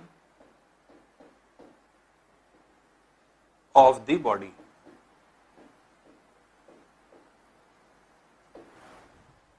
देख रहे हैं तो negative sign shows direction of friction which is opposite to the motion of the body तो ये आपने आउटलाइन कर लिया, ये तो ए निकल आया है ना? What is the force friction between the stone and the हमें फोर्स निकालना है।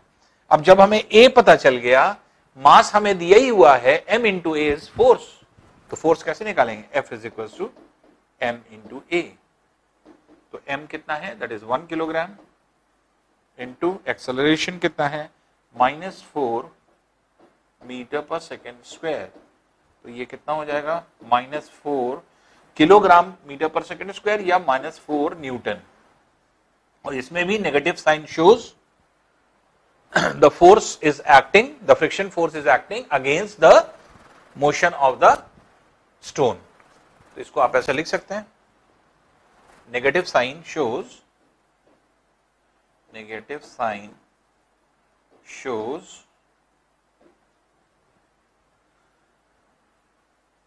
friction force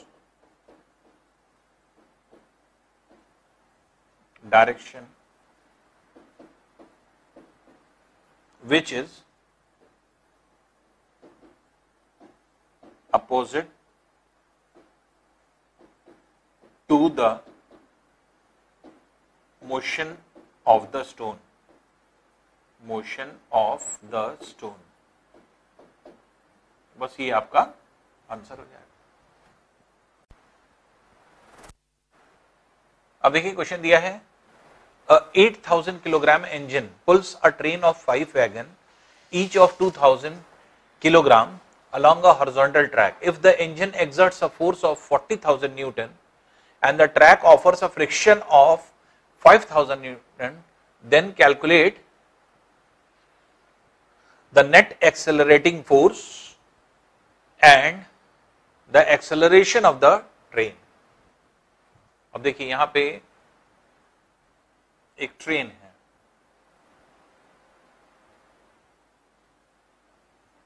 ये है इंजन और इसमें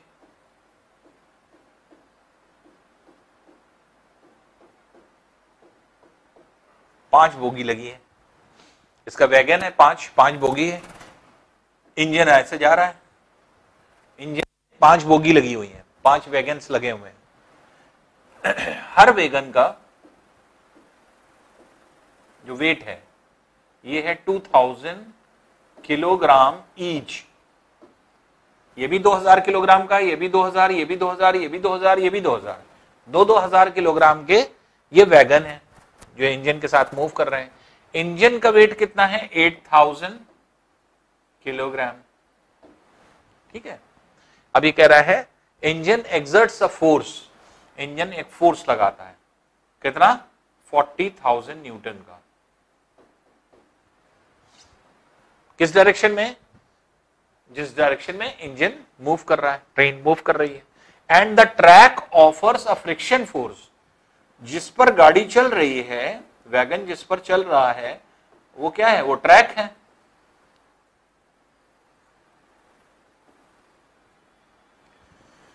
तो अगर गाड़ी जिस पे चल रही है वो फ्रिक्शन फोर्स किधर लगाएगा? जब गाड़ी इधर मूव कर रही है तो फ्रिक्शन फोर्स इधर लगेगा ये फ्रिक्शन फोर्स कितना लग रहा है? फ्रिक्शन फोर्स लग रहा है इस डायरेक्शन में 5000 न्यूटन का। तो 40,000 से ये खींच रहा है। 5000 इसे पीछे खींच रहा है। तो इसलिए ओवरऑल इस डायरेक्शन में कितना जो है आपके फोर्स लगेगा। तो यही पूछ रहा है पहला द नेट एक्सेलरेटिंग फोर्स तो ए पॉइंट में क्या है? Net accelerating force accelerating force का मतलब क्या हुआ? या नेट फोर्स जो एक्सेलरेशन प्रोड्यूस कर रहा है। नेट फोर्स जो एक्सेलरेशन प्रोड्यूस कर रहा है दैट इज़ एक्सेलरेटिंग फोर्स तो ये कितना हो जाएगा?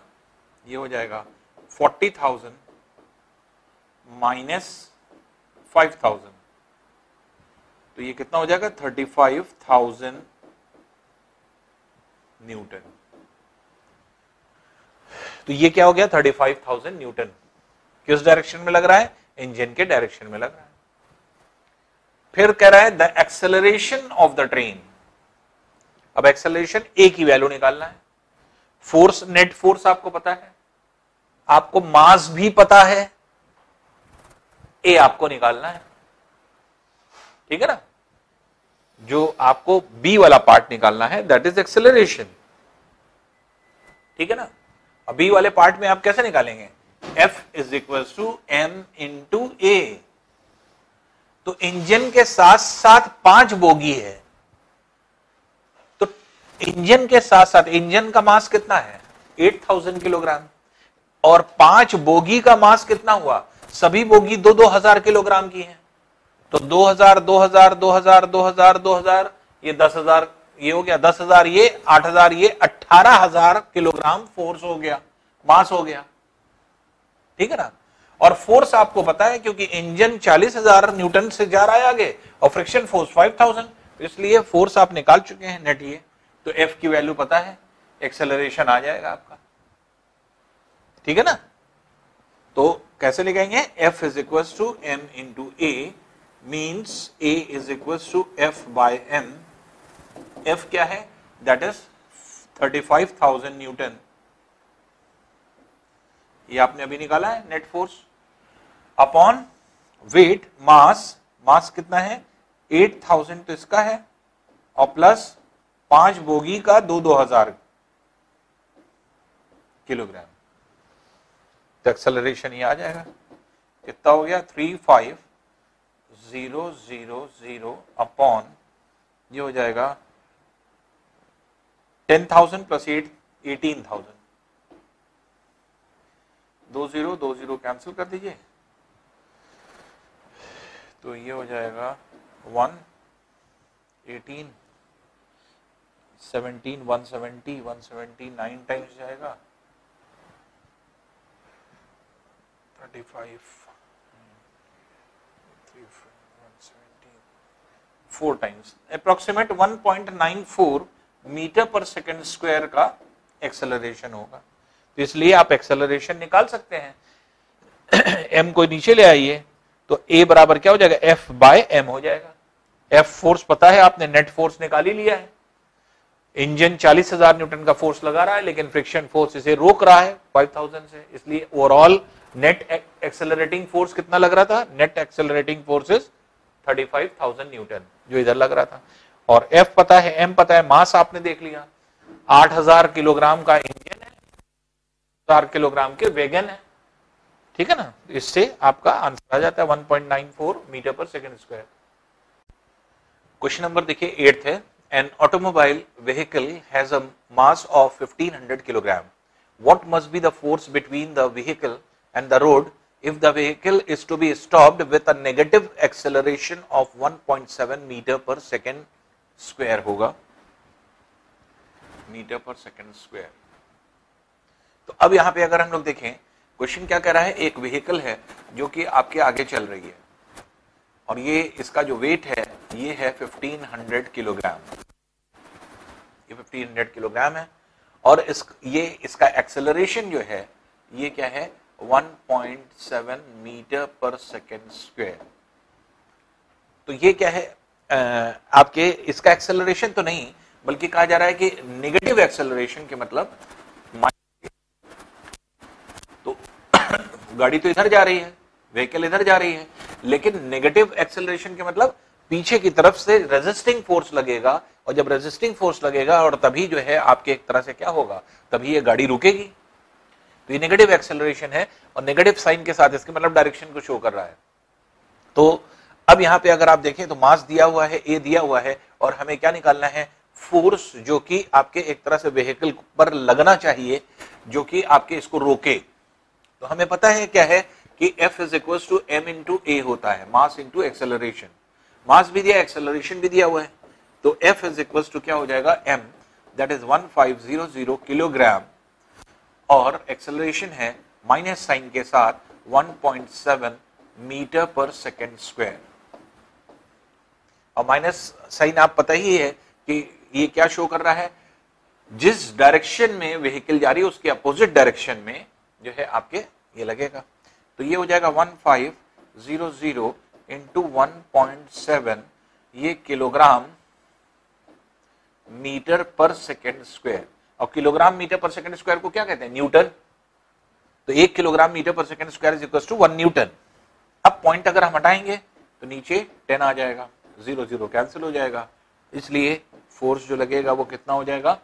Minus zero fifteen into seven hundred and five five ten fifteen one सा fifteen twenty five two five zero zero newton.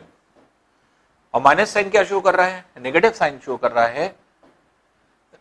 force will act in opposite direction in opposite direction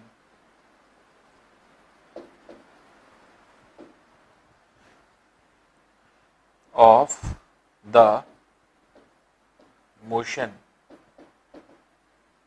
of the vehicle. Vehicle के motion के opposite direction में force जो है आपके act करेगा। कितना force add करेगा? 2550 न्यूटन तो यही इसका आंसर हो जाएगा।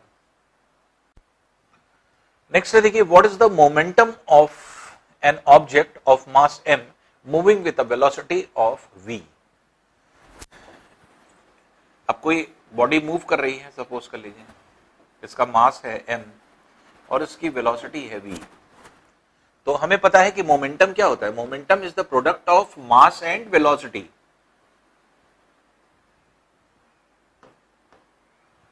momentum is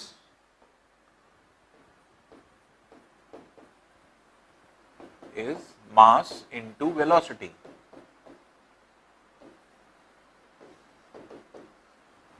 momentum is the product of mass and velocity mass आपके दिया हुआ है एम और ये दिया है v तो m इंटू वी ये आपका मोमेंटम हो जाएगा। और यही पूछ रहा है, what is the momentum of an object of mass m with a velocity v?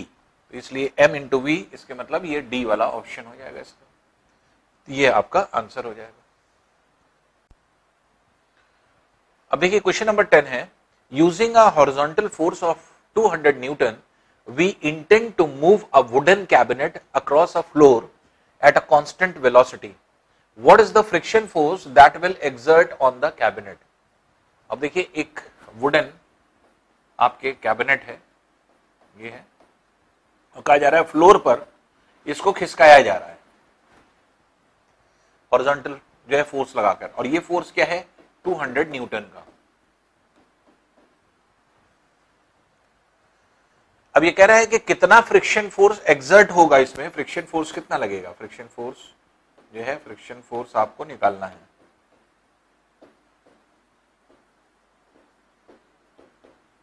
तो फ्रिक्शन फोर्स कितना लगेगा? देखिए, होता क्या है कि जैसे हम लोग ने पढ़ा भी था और एग्ज़ाम्पल भी हमने लिया था। अगर मान लीजिए 200 न्यूटन का जो है आपके एक तरह से फोर्स लग रहा है। तो अगर हम इस डायरेक्शन में अब इस डायरेक्शन में इसको जो है आपके वो दे रहे हैं। तो इस डायरेक्शन में जो फोर्स लगेगा, वो इक्वेलेंट टू एफ़ लगेगा। अगर एफ़ 20 न्यूटन है तो 20 न्यूटन लगेगा। अगर 200 न्यूटन है तो 200 न्यूटन लगेगा। फ्रिक्शन फोर्स जो होता है, वो क्या होता है? ये एफ़ के बराबर ही होता है, बस डायरेक्शन क्या होता है, आपके अलग होता है। तो बस यही आपको देखना होता है कि friction force is equal to the force applied on the body तो ये होता है, बस फ्रिक्शन फोर्स की जो आपके एक तरह से जो वैल्यू होगी, वो इक्वेलेंट होगी मैग्नेट्यूड बराबर होगा, सिर्फ़ डायरेक्शन क्या होगा? अलग होगा। तो इसलिए किसी भी बॉडी में जितना भी आप फोर्स लगाएँगे, उतने ही फोर्स से वो रेजिस्ट करेगा। तो रेजिस्टेंस फोर्स जो होता है, जिसको हम फ्रिक्शन फोर्स कहते हैं, वो क्या है? वो आपके एक तरह से बढ़ता चला जाता है। तो अब जैसे फॉर एग्ज़ाम्पल मान लीजिए ये है सपोज़ कर लीजिए 40 किलोग्राम की एक बॉडी है। अब इस पर हम फोर्स लगा रहे हैं। अब मान लीजिए कि हमने फोर्स लगाया दस न्यूटन का। तो इधर भी दस न्यूटन लगा। फिर हमने बीस न्यूटन कर दिया, इधर भी बीस न्यूटन लगा। एक स्टेज ऐसी होगी 40 किलोग्राम को मान लीजिए यहाँ का फोर्स 100 न्यूटन ओवरकम कर रहा है। तो 100 न्यूटन, जब 100 न्यूटन जो है आपके फोर्स लगने लगेगा इधर तो हो सकता है ये बॉडी चलने लगे। लेकिन उस टाइम भी चलने से पहले तक कितना फोर्स लगेगा? 100 न्यूटन ही लगेगा, क्योंकि 100 न्यूटन फोर्स इसको चला रहा है। लेकिन जैसे ही मूवमेंट शुरू होगा, फ्रिक्शन फोर्स कम हो जाएगा। तो जब तक बॉडी रेस्ट पर रहती है, तब तक क्या है? जितना फोर्स आप लगाएँगे, उतना ही फ्रिक्शन फोर्स लगेगा। लेकिन बॉडी अगर मूव कर रही है तो फ्रिक्शन फोर्स की वैल्यू क्या हो जाती है? कम हो जाती है। कम हो जाएगी, तभी तो बॉडी मूव कर रही है आगे। बॉडी अगर मान लीजिए सपोज़ कर लीजिए, आगे जा रही है तो आगे जाने वाला फोर्स इस फ्रिक्शन फोर्स से क्या है? ज़्यादा होगा, तभी तो ये मूव करेगी आगे। तो इसलिए जब बॉडी इन मोशन होती है तो फोर्स हमेशा ज़्यादा हो जाता है किससे? फ्रिक्शन फोर्स से। और जब हम, जब तक ढकेलते रहते हैं, जब तक हिलती नहीं है बॉडी जैसे ही हिलना शुरू करती है जैसे मान लीजिए कि फोर्स बढ़ गया फ्रिक्शन फोर्स से। और जब तक बॉडी नहीं हिलती है तब तक जो है आपके फोर्स किसके बराबर होता है? फ्रिक्शन फोर्स के इक्विवेलेंट होता है। इसलिए अब इसको हम लोग कैसे लिखेंगे? कुछ नहीं करना है आपको। यहाँ पर सिर्फ़ ये कॉन्सेप्ट जानना था और कोई कैलकुलेशन नहीं है। तो फ्रिक्शन फोर्स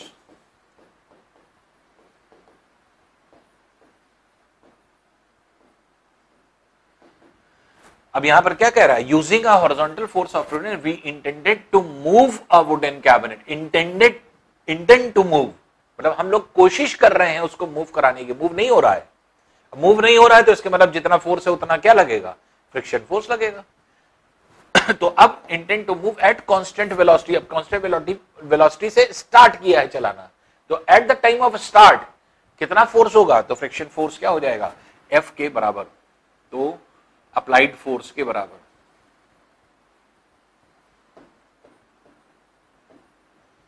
लेकिन in opposite direction negative sign के साथ. इसलिए माइनस टू हंड्रेड न्यूटन हो जाएगा और negative sign shows that the friction force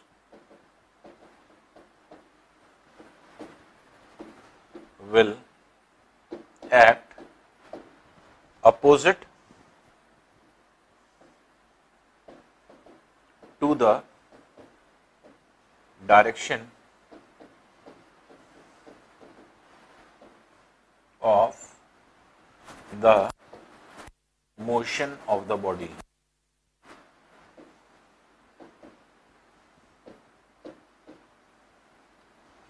तो नेगेटिव साइन क्या शो कर रही है? सिर्फ़ फ्रिक्शन फोर्स क्या है? आपके अपोजिट डायरेक्शन में लगेगा। नेक्स्ट क्वेश्चन है, देखिए। Two objects each of mass 1.5 kilogram are moving in the same straight line but in opposite directions The velocity of each object is 2.5 meter per second. Before the collision, during which they stick together, what will be the velocity of the combined object after collision? अब देखिए यहाँ पे पहले question को समझ लें एक body है जिसका मास 1.5 किलोग्राम है। ये मास हो गया। दूसरी बॉडी है, उसका भी मास कह रहा है 1.5 किलोग्राम है। ठीक है? ये जा रही है इस डायरेक्शन में, इसकी जो है स्पीड है 2.5 मीटर पर सेकेंड। ये भी उसी जो है आपके स्पीड से जा रही है लेकिन डायरेक्शन चेंज है। अगर डायरेक्शन चेंज है तो वेलोसिटी इसकी कितनी हो जाएगी? माइनस 2.5 मीटर पर सेकेंड क्योंकि साइन क्या शो करता है? सिर्फ़ डायरेक्शन शो करता है। तो इसलिए अब कह रहा है कि before the collision during which they stick together दोनों आकर के टकराते हैं और टकरा करके एक साथ मिल जाते हैं स्टिक कर जाते हैं। तो before the collision during which they stick together what will be the velocity combined object after collision?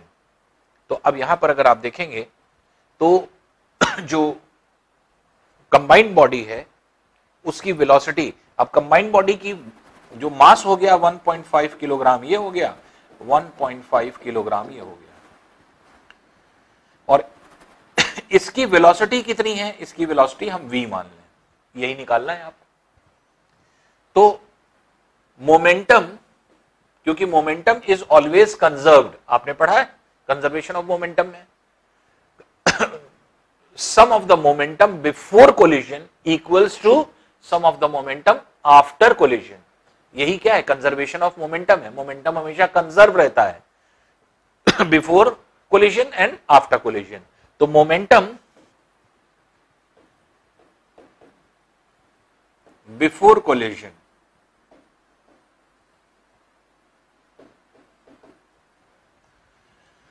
ये क्या हो जाएगा? मास देखिए कितना है? 1.5 पॉइंट फाइव इंटू टू ये किलोग्राम है, किलोग्राम मीटर पर सेकेंड। ये मोमेंटम हो गया। दूसरे वाले का मोमेंटम जो है 1.5 point five into minus two kilogram. तो अब यहाँ पे आप देख रहे हैं 1.5 point five into two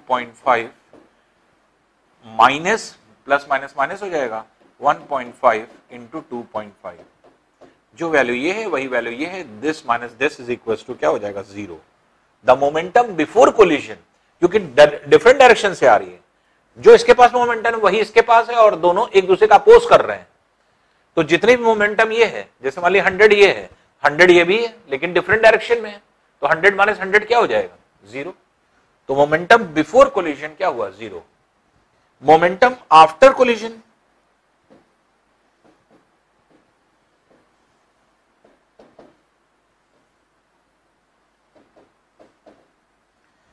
इस केस में फॉर्मूला हम क्या लगा रहे हैं? M one V one plus M two V two M one V one plus या यू वन कर सकते हैं आप। M two V U two पहली बॉडी का मास पहली बॉडी की वेलोसिटी दूसरी बॉडी का मास दूसरी बॉडी की वेलोसिटी अब दोनों स्टिक कर गए। तो दोनों को एक बॉडी मान लीजिए, जिसका मास कितना है? एम वन प्लस एम और क्या है? वेलोसिटी वी है। तो मोमेंटम आफ्टर कोलिशन क्या हो जाएगा?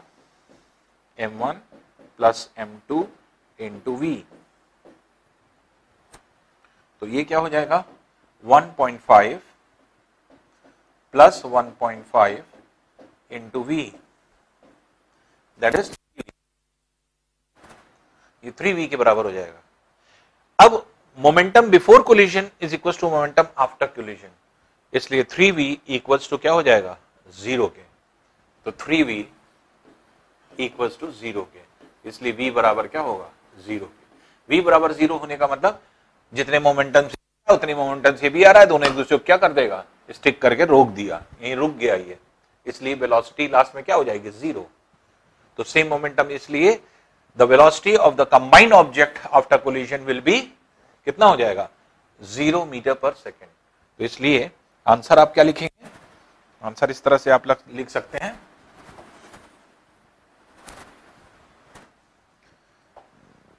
आंसर लिख सकते हैं। The velocity of the combined object after collision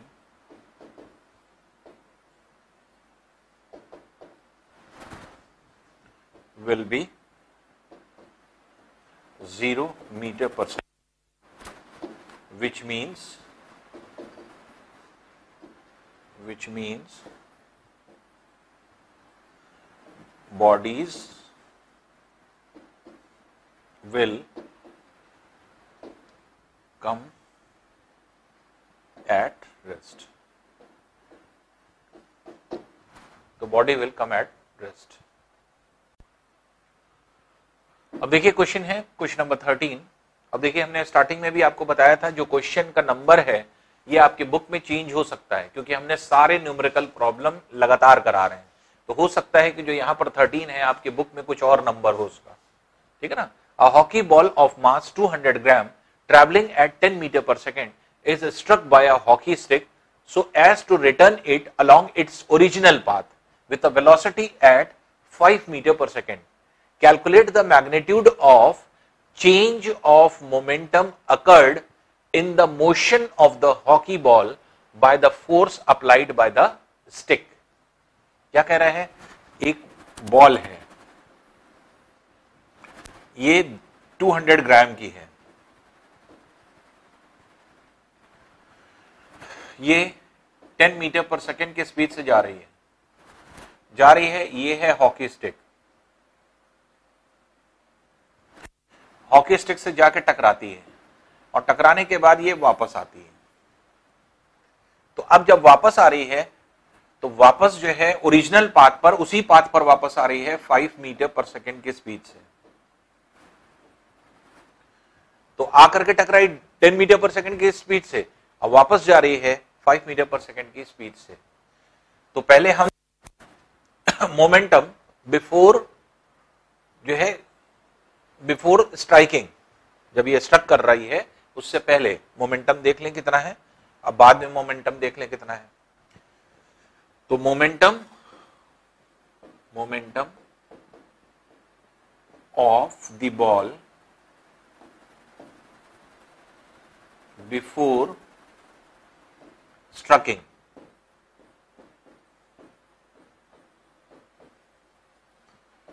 या बिफोर स्ट्राइकिंग तो बिफोर स्ट्रकिंग क्या हो जाएगा? M into V mass into velocity है तो m इंटू वी से निकाल लेंगे। मास कितना है देखिए? मास है 200 ग्राम है। लेकिन हमें पता है कि हम लोग किसमें रखते हैं मास को? मास को किलोग्राम में रखा जाता है। इसलिए 1000 से अगर हम डिवाइड कर देंगे, तब ये किलोग्राम में कन्वर्ट होगा। ठीक है ना? कोई भी चीज़ अगर ग्राम में दिया हुआ है तो इसको क्या करेंगे? 200 को अगर हम 1000 से डिवाइड कर देंगे तो क्या हो जाएगा? किलोग्राम। तो इसके मतलब हमने क्या किया है? हमने कन्वर्जन किया है। क्योंकि हमें यह पता है कि मास हम हमेशा किसमें रखेंगे? किलोग्राम में। तो ये मास जो है आपको ग्राम में दिया था, हमने इसको किलोग्राम में कन्वर्ट कर लिया कैसे? ग्राम को किलोग्राम में कैसे कन्वर्ट करेंगे? वन थाउज़ेंड से डिवाइड करेंगे। तो ये हमने किलोग्राम मास हो गया। इंटू वेलोसिटी वेलोसिटी कितनी है? जाती हुई टेन मीटर पर सेकेंड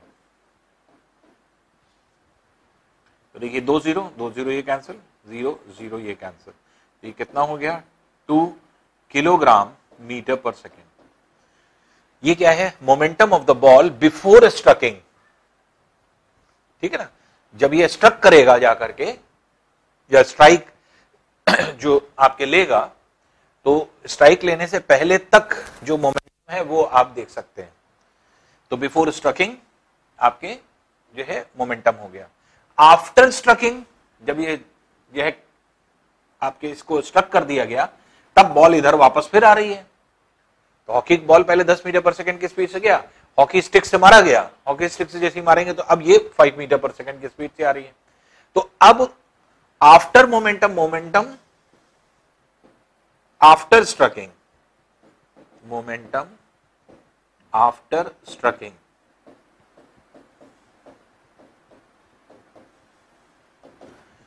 इसमें ये भी क्या हो जाएगा? M in to we mass कितना है? उसी तरह से 200 अपॉन 1000 करेंगे तो किलोग्राम में आएगा। इनटू वेलोसिटी वेलोसिटी अब देखिए डायरेक्शन चेंज हो गया।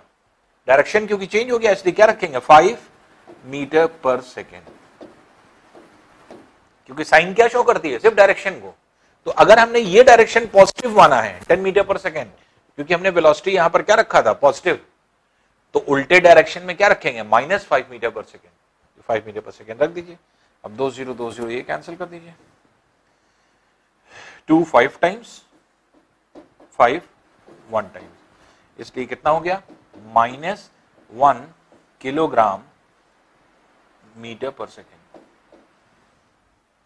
तो ये क्या था? Two kilogram metre per second before striking और आफ्टर स्ट्रकिंग जो था, ये मोमेंटम आपके इतना आ रहा है। तो चेंज इन मोमेंटम आप देखेंगे। तो चेंज इन मोमेंटम कैसे निकालेंगे? चेंज इन मोमेंटम चेंज कैसे निकालते हैं? आप इसमें से निकाल दीजिए पहले वाले मोमेंटम, जैसे two kilogram metre per second, ये पहले था। माइनस कर दीजिए बाद वाले momentum, one kilogram metre per second. और माइनस माइनस क्या हो जाएगा? प्लस हो जाएगा। इसलिए three kilogram metre per second, ये चेंज इन मोमेंटम, ये आंसर आ जाएगा। तो चेंज इन मोमेंटम जब कहेगा चेंज का मतलब क्या हुआ? एक वैल्यू से दूसरी वैल्यू में माइनस करना। जब हम माइनस करेंगे तो माइनस माइनस क्या हो जाएगा? प्लस हो जाएगा। तो इसलिए चेंज इन मोमेंटम आपके ये हो जाएगा इसके साथ। अब देखिए, एक क्वेश्चन दिया जा रहा है। A bullet of mass 10 gram with a velocity of 150 metre per second strikes a stationary wooden block and comes to rest in 0.03 second calculate the distance of penetration of the bullet into the block also calculate the magnitude of the force exerted by the wooden block on the bullet. अब देखिए ये wooden block है। ठीक है? एक bullet है। और ये बुलेट जो है आपके जा रही है। कौन सी बुलेट गाड़ी वाली बुलेट नहीं गन वाली बुलेट तो गन वाली बुलेट जो है आपके छर्रा जिसको कहते हैं। ये बुलेट है, जिसको 10 ग्राम इसका वेट है। ये कितनी स्पीड से जा रही है? 150 मीटर पर सेकेंड की स्पीड से जा रही है। अब ये वुडन ब्लॉक के अंदर पेनिट्रेट करती है और रेस्ट पर आ जाती है 0.03 सेकंड के बाद। यहाँ से अंदर जाती जाएगी और वुडन ब्लॉक में, मान लीजिए यहाँ आकर के रुक गई। जैसे अक्सर हम लोग स्ट्राइक करते हैं तो छर्रा कुछ अंदर गया, अंदर जाके फंस गया, रुक गया। तो जब छर्रा स्ट्राइक किया था, तब इसकी वेलोसिटी कितनी थी? तो ये इनिशियल वेलोसिटी हो जाएगी, जो कि 150 मीटर पर सेकेंड स्क्वायर थी। अब बाद में वेलोसिटी कितनी हो गई? ज़ीरो हो गई। रुक गया ना? छर्रा जाके रुक गया। तो लास्ट की वेलोसिटी कितनी हो गई? ज़ीरो मीटर पर सेकेंड और ऐसा होने में रेस्ट तक आने में, यहाँ से यहाँ तक कितना कितना टाइम लगा? टाइम जो लगा है, वो लगा है 0.03 सेकेंड का। ठीक है ना? अब कह रहा है calculate the distance of penetration ये डिस्टेंस निकालना है। यहाँ से यहाँ तक की डिस्टेंस अगर हम एस मान लें कि कितना अंदर तक ये पेनिट्रेट कर गया तो आपको एस वाला फॉर्मूला पता है। हमने आपको बताया था, दो फॉर्मूले होते हैं। तो एक तो होता है, जो है आपके V square is equal to U square plus twice A S एक होता है S is equal to U T plus half A T square दोनों में से कोई भी लगा दीजिए, उससे आ जाएगा। तो पहले हम ए की वैल्यू निकाल लें ए कैसे निकलेगा? V minus U upon T आप जानते हैं? V कितना है? Zero minus one fifty metre per second upon zero point zero three ये क्या है? ये मीटर पर सेकेंड स्क्वायर हो गया। इसकी तो एक्सेलरेशन कितना आ रहा है? ये आ रहा है minus one fifty upon zero point zero three point हटाएँगे तो ये हो जाएगा 100 metre per second square three fifty times cancel कर दीजिए तो इसका मतलब एक्सेलरेशन क्या है? ये है minus five thousand metre per second square अब आप देख रहे हैं। तो एस अब आप चाहे जिससे निकाल लीजिए। S is equal to U T plus half A T से भी निकल आएगा। S is equal to U T plus half A T square से भी निकल आएगा। या V square is equal to U square plus twice A S से भी निकल आएगा। क्योंकि वी पता है यू पता है ए निकाल लिया हमने एस निकल आएगा। एस निकालना है। तो इसलिए अगर हम ये फॉर्मूला लगा दें वी स्क्वायर बराबर U square plus twice A S इसी से निकल आएगा। वी की वेलोसिटी ज़ीरो है, ये है 150 का square plus two into A कितना है? That is minus five thousand into S ये डिस्टेंस हो जाएगा। इसको अगर हम इधर ले आए तो minus five thousand into two कितना हो जाएगा? Minus ten thousand minus ten thousand S इसको इधर लाएँगे तो पॉजिटिव हो जाएगा ये। तो प्लस टेन थाउज़ेंड एस बराबर 150 का स्क्वायर 150 का square means 150 fifty into one अब देखिए zero zero zero zero cancel कर दीजिए। है ना? Five twenty times five times five four times five three times तो एस इज़ इक्वल टू क्या हो जाएगा? नाइन बाय फोर मीटर जो है आपके पेनिट्रेशन हो गया। और ये कितना हो जाएगा? 2.25 मीटर इसके मतलब कि बुलेट कितना पेनिट्रेट कर जाएगी अंदर? ये डिस्टेंस कितना चली जाएगी? 2.25 मीटर अंदर चली जाएगी। तो ये बुलेट का पेनिट्रेशन हो गया। ये तो डिस्टेंस निकल आई ठीक है ना? ये आपके डिस्टेंस ऑफ़ पेनिट्रेशन निकल आया अब ये पूछ रहा है the magnitude of the force exerted by the wooden block क्योंकि बुलेट इधर जा रही है। तो बुलेट जब अंदर पेनिट्रेट करेगी तो ब्लॉक किधर फोर्स लगाएगा? रोकेगा इसको इधर से ना? तो ब्लॉक जो है आपके क्या फोर्स लगाएगा? उसको देख लीजिए। ब्लॉक जो फोर्स एक्सर्ट करेगा, उसको हम लोग निकाल लें। तो F is equal to M into A mass कितना है? ये है आपके 10 ग्राम। तो 10 अपॉन 1000 करें तो किलोग्राम में कन्वर्ट हो जाएगा। इनटू एक्सेलरेशन कितना है? माइनस फाइव थाउज़ेंड निकला था। Minus five thousand metre per second square. जिसमें से तीन ज़ीरो तीन ज़ीरो कैंसिल कर दीजिए तो ये हो जाएगा minus fifty kilogram per metre metre per second square, या फिर न्यूटन भी कह सकते हैं। यही आंसर हो गया। और माइनस साइन क्या शो कर रहा है? कि जो फोर्स लगाएगा वुड वो वुडन ब्लॉक वो किधर लगाएगा? जिधर इसका मोशन उसके अपोजिट डायरेक्शन में। क्योंकि जब किसी भी लकड़ी में, जब बुलेट अंदर पेनिट्रेट करेगी तो लकड़ी किधर रोकेगी? इधर रोकेगी ना। अपोजिट डायरेक्शन में। तो बुलेट कितना फोर्स लगा रही है? ये लकड़ी कितना फोर्स लगा रही है इसको रोकने के लिए? तो 50 न्यूटन का फोर्स लगा रही है। तो नेगेटिव साइन क्या शो कर रहा है? कि जो फोर्स लगा रही है वुड वो किस डायरेक्शन में लगा रही है? Opposite to the direction of the motion of the bullet जैसे हम लिखाते हैं वैसे ही आगे लिख लीजिएगा क्या लिखेंगे आप?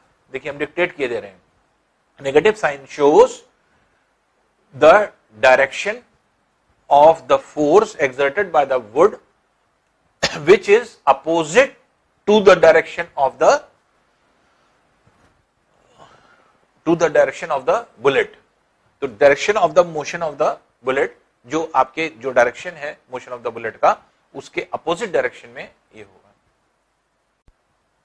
अब देखिए क्वेश्चन है an object of mass one kilogram travelling in straight line velocity of ten metre per second collides with an sticks to a stationary wooden block of mass five K G then they both move off together in the same straight line calculate the total momentum just before the impact and just after the impact also calculate the velocity of the combined body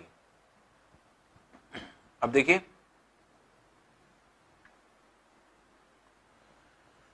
question समझ लीजिए। एक body है, ये move कर रही है। ये body जो है, वन किलोग्राम की है। ये पाँच किलोग्राम का ब्लॉक रखा है।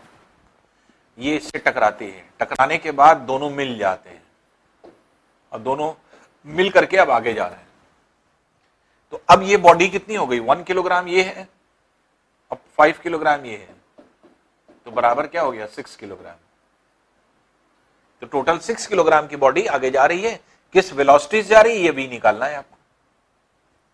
तो पहले, देखिए, जब ये मूव कर रही है, किस वेलोसिटी से? 10 मीटर पर सेकेंड की स्पीड से।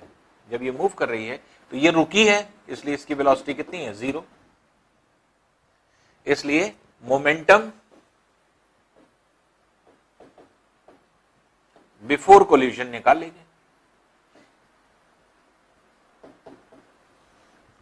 तो ये कैसे निकालेंगे? M one V U one plus M two U two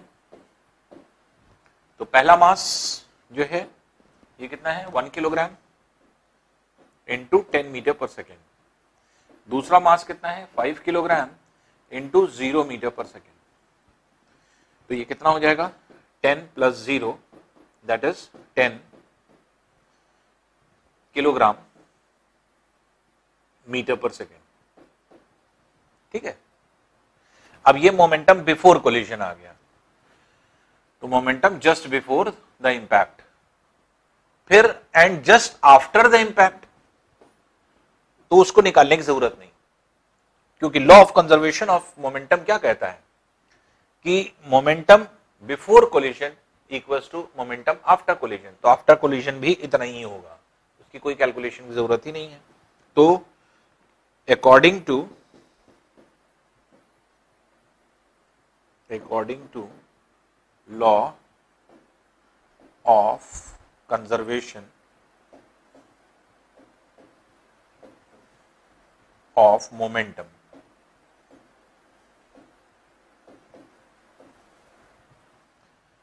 तो momentum momentum after collision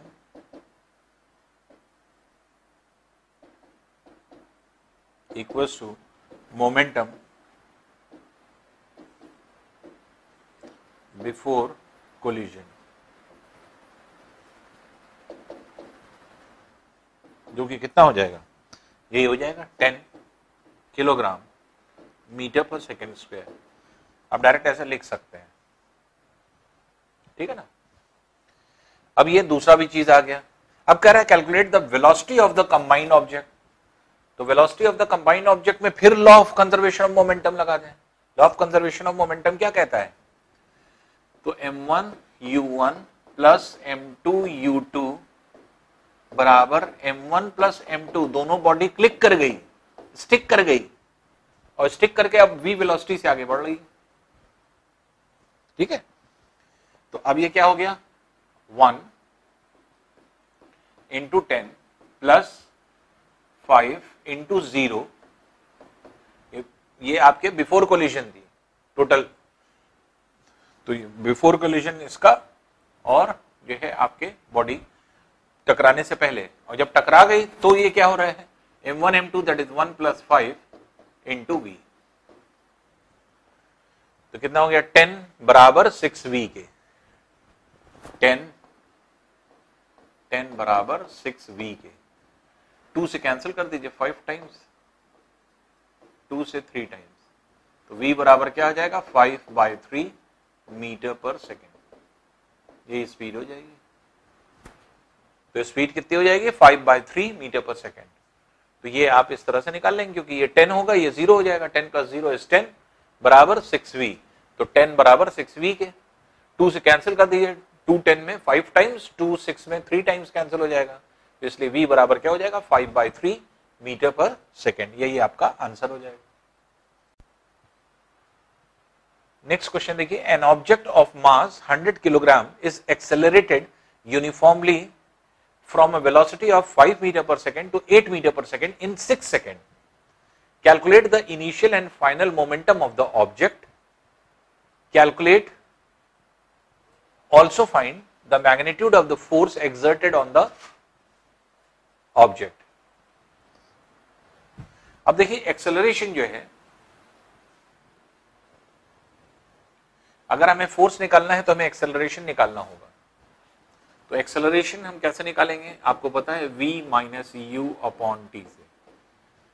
V आपको पता है 8 मीटर पर सेकेंड है और ये 5 मीटर पर सेकेंड है। अपॉन कितने सेकेंड 6 तो इसलिए हो जाएगा 3 by six that is 1 by two metre per second square तो one by two metre per second square a की वैल्यू हो गई। ठीक है ना? अगर अब हम इनिशियल मोमेंटम कहते हैं तो इनिशियल मोमेंटम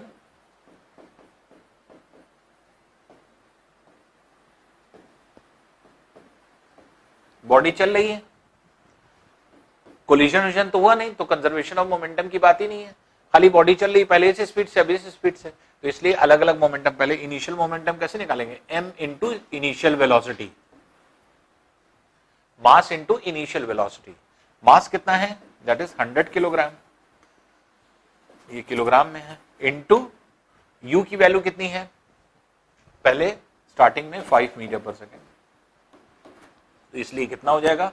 500 किलोग्राम मीटर पर सेकेंड ये क्या है? इनिशियल मोमेंटम हो गया। फिर कह रहा है फाइनल मोमेंटम निकालिए of the body final momentum मतलब फाइनल स्पीड पर, इस स्पीड पर। तो फाइनल मोमेंटम निकाल दीजिए। तो फाइनल मोमेंटम क्या हो जाएगा? That will be m into v m क्या है? 100 किलोग्राम है. Into eight metre per second तो इसलिए कितना हो जाएगा? 800 किलोग्राम मीटर पर सेकेंड ये मोमेंटम हो गया. फाइनल मोमेंटम अब ये कह रहा है find the magnitude of force exerted on the body अब फोर्स निकालना है तो F is equal to m into a होता है. एक्सेलरेशन हमने अभी निकाला है। One by two metre per second square और एम की वैल्यू दिया हुआ है।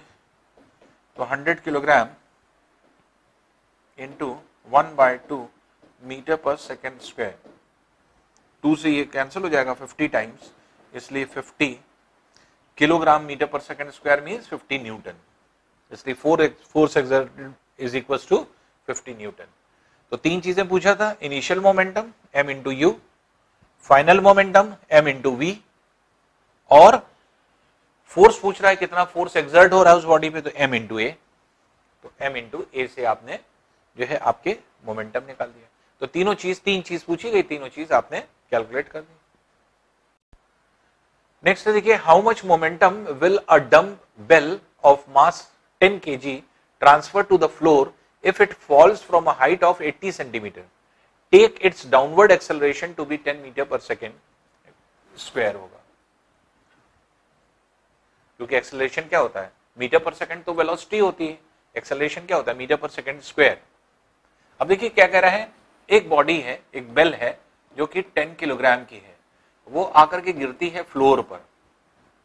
तो फ्लोर पर जब स्टक करती है तो ये कितनी हाइट पर है? 80 सेंटीमीटर हाइट पे है। ठीक है? 80 सेंटीमीटर हाइट पे है और ये इसका एक्सेलरेशन टुवर्ड्स डाउनवर्ड जो है एक्सेलरेशन कितने एक्सेलरेशन से आ रही है? 10 मीटर पर सेकेंड स्क्वायर के एक्सेलरेशन से आ रही है। तो how much momentum will a dumbbell of mass 10 kilogram transfer to the floor यहाँ पर फ्लोर को कितना ये ट्रांसफ़र करेगी? तो यहाँ पर जब इसको छोड़ा जा रहा है तो u की वैल्यू ज़ीरो है, v की वैल्यू हम निकाल लें। अब v की वैल्यू निकाल लेंगे तो m इंटू वी जो है, यही क्या हो जाएगा? यही मोमेंटम पूछ रहा है कि कितना मोमेंटम होगा? मास आपको दिया रहेगा, v निकल आएगा। अब v कैसे निकालें? ये आप देखें। तो v अगर हम लोग निकालेंगे तो देखिए कैसे निकाल सकते हैं, किस तरह से निकालेंगे? V square is equal to u square plus twice a s आपने पढ़ा है ना? ये एक्सेलरेशन कब होता है? जब बॉडी हॉरिजॉन्टली मूव करती है। और जब कोई चीज़ ड्रॉप होती है तो फिर क्या लगता है? एक्सेलरेशन ड्यू टू ग्रेविटी तो इसलिए ए की जगह क्या आ जाएगा? जी आ जाएगा।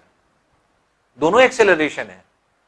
एक्सेलरेशन इधर जा रहा है हॉरिजॉन्टली लेकिन जब कोई चीज़ गिरती है तो वो क्या कहलाता है? वो कहलाता है एक्सेलरेशन ड्यू टू ग्रेविटी खुद से, अगर किसी बॉडी को आप छोड़ दें तो acceleration due to gravity small g क्या हो जाता है? 9.8 मीटर पर सेकेंड स्क्वायर होता है, कोई भी बॉडी छोड़ेंगे तो हर सेकेंड इतनी स्पीड बढ़ती जाएगी। इसका मतलब ये हुआ, जिसको हम approximate 10 metre per second square मानते हैं, और यही दिया हुआ है आपको। ठीक है ना? एक तो ये है। और यहाँ पर क्या है? अब एस नहीं आएगा। इस, क्योंकि हॉरिजॉन्टल जब रहता है तो ए आता है। टू ए एस होता है ना? टू ए एस, ए की जगह क्या आ गया? जी? तो एस की जगह क्या आ जाएगा? Height, h. कितनी हाइट ये ट्रेवल करेगा? ठीक है ना? जब हॉरिजॉन्टल होगा तो फॉर्मूला क्या होता है? V square to u square plus twice a s क्योंकि एक्सेलरेशन इधर होता है और डिस्टेंस भी ये इधर ट्रेवल करता है। लेकिन जब कोई बॉडी नीचे गिरती है तो ए की जगह जी आ जाता है। और एस की जगह एच आ जाता है, क्योंकि ऊपर से नीचे गिरेगा ना हाइट होगी। ऊपर से नीचे गिरता है तो एस की जगह एच आ जाएगा जी ऐसे तो इस तरह से आप इसे फॉर्मूला देख सकते हैं। तो अब यहाँ पे जैसे क्या कह रहा है कि वेलोसिटी पहले हम निकाल लें। तो वेलोसिटी कैसे निकालेंगे? क्योंकि आपको जी पता है एच पता है यू पता है। वी निकल आएगा। तो v square equals to u square plus twice g h v square निकालना है आपको, जबकि पहले वेलोसिटी क्या है? ज़ीरो है। ज़ीरो को स्क्वायर करेंगे ज़ीरो ही आएगा। Plus two into g acceleration due to gravity दस ten metre per second square है। इंटू हाइट हाइट कितना है? 80 सेंटीमीटर है। इसको 100 से डिवाइड कर दिया मीटर में आ जाएगा। अब ये देख लिया वी स्क्वायर बराबर हो जाएगा क्योंकि zero zero zero zero cancel two eight जो sixteen zero plus sixteen is sixteen metre per second square sixteen metre per second ये आपके आ रहा है मीटर पर सेकेंड में। अभी वैल्यू आएगी। ठीक है? अभी इसको छोड़ दी। और 16 को आप क्या लिख सकते हैं? क्योंकि ये स्क्वायर में है तो ये 4 का स्क्वायर लिख सकते हैं तो v स्क्वायर बराबर 4 का स्क्वायर इसलिए वी बराबर क्या हो जाएगा? फोर मीटर पर सेकेंड ये वेलोसिटी हो गई। वेलोसिटी जब वो फ्लोर को टच करेगी उस टाइम उसकी कितनी वेलोसिटी है? 4 मीटर पर सेकेंड वेलोसिटी आ गई। और जब वेलोसिटी आ गई है तो मास से मल्टीप्लाई कर देंगे मोमेंटम आ जाएगा। और यही मोमेंटम आपको निकालना था। तो मोमेंटम विल भी क्या हो जाएगा? मोमेंटम पहले आपको ये देख लेना है डायग्राम बना करके क्या दिया है, क्या निकालना है। जो निकालना होता है, वो उसी से क्लियर होता है। जैसे मोमेंटम कह रहा है तो मोमेंटम कह रहा है, इसके मतलब मास दिया है, वी निकालना है। वी कैसे निकलेगा? जो दी गई चीज़ें हैं, उससे निकलेगा। फॉर्मूला देख लीजिए। तो मोमेंटम क्या हो जाएगा? Momentum m into v m into v means mass कितना है?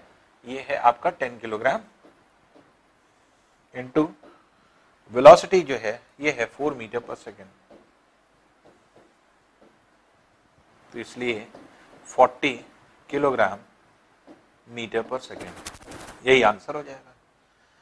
कि किस मोमेंटम से वो स्ट्राइक करेगा या जब स्ट्राइक करेगा तो उसके मोमेंटम कितना होगा? तो वो 40 किलोग्राम मीटर पर सेकेंड। अब देखिए, क्वेश्चन दिया है, the following is the distance time table of an object in the motion. यहाँ पर टाइम दिया हुआ है। टाइम जो है, इन सेकेंड्स दिया हुआ है। और डिस्टेंस इन मीटर्स दिया हुआ है। तो पहले हम आउटलाइन कर लें कि हाँ एक्चुअल में क्वेश्चन क्या है। जब ज़ीरो सेकेंड था तो डिस्टेंस ज़ीरो ट्रेवल की गई। जब टाइम वन हुआ तो डिस्टेंस कितना हो गया?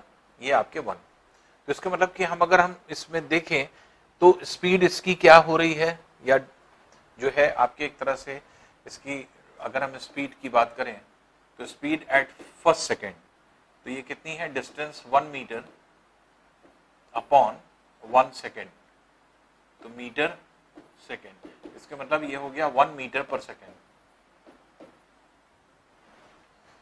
Distance कितना है? Speed is equal to distance upon time distance upon time जो speed is equal to distance upon time होता है तो डिस्टेंस वन मीटर है अपॉन वन सेकेंड तो वन अपॉन वन वन हो जाएगा मीटर पर सेकेंड इसकी यूनिट हो गई। अब दूसरे सेकेंड देखिए डिस्टेंस कितना ट्रेवल कर रहा है? एट तो इसलिए स्पीड जो है, अब देखिए, ये हो गई eight metre in two seconds two four times cancel हो जाएगा। ये हो जाएगा फोर मीटर पर सेकेंड अब स्पीड देखिए, बढ़ गई। सेकेंड जो है, आपके सेकेंड में स्पीड बढ़ गई।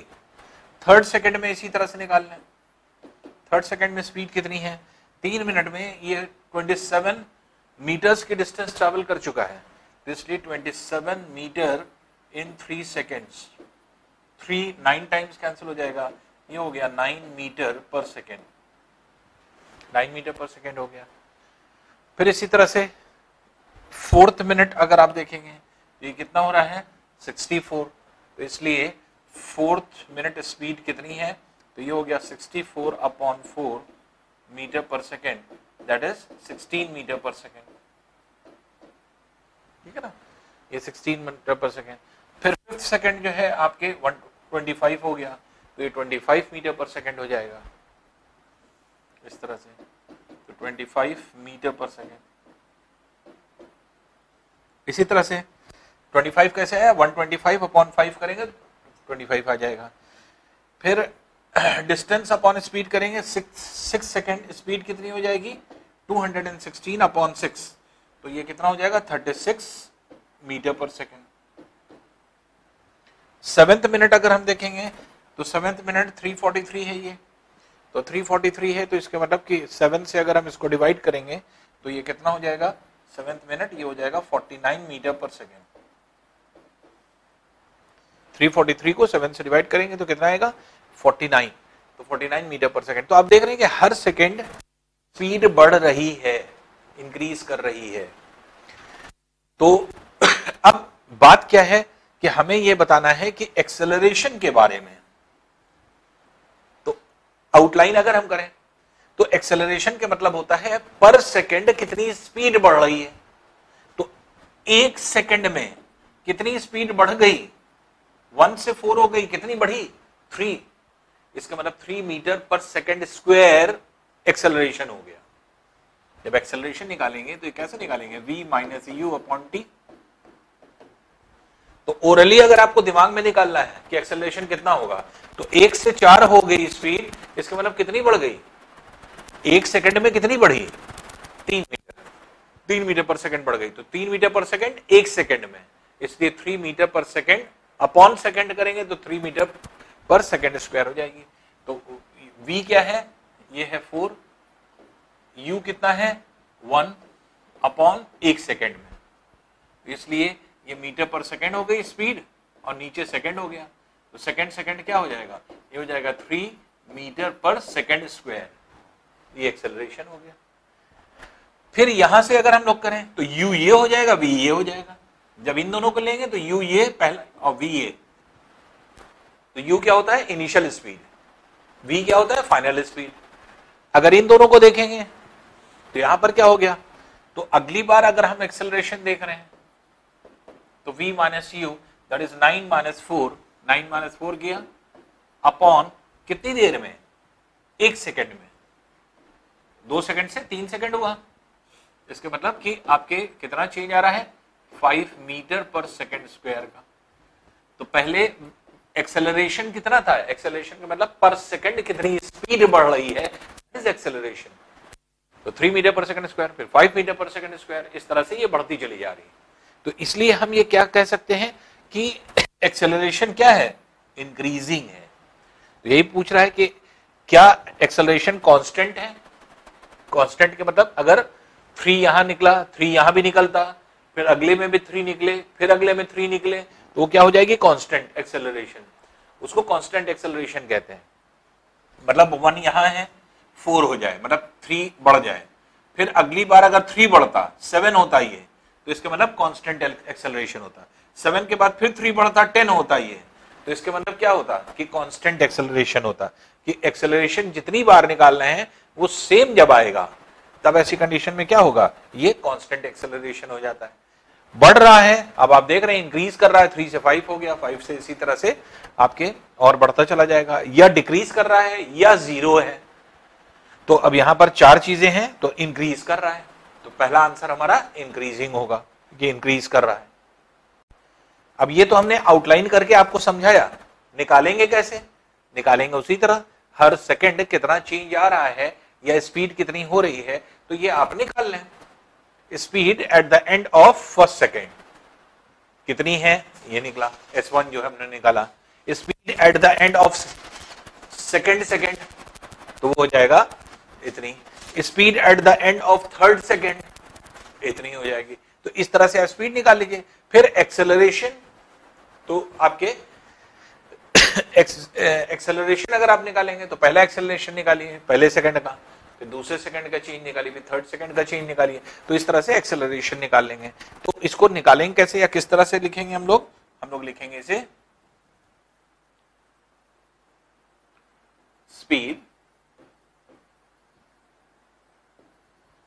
at the end of first second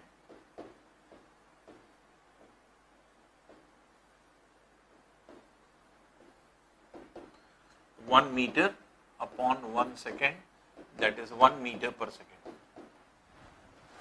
इसी तरह से speed at the end of second second तो सेकंड सेकंड अगर आप देखेंगे, यहाँ पर कितनी है? दूसरे सेकंड के एंड में एट हो गई है। इसलिए इसको क्या लिखेंगे? That is eight metre in two seconds कितना हो गया?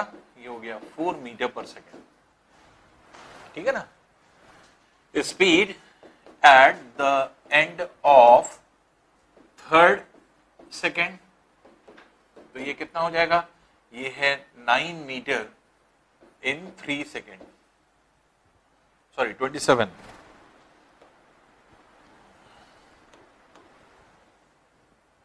ये है ट्वेंटी सेवन है ना? Twenty seven in third second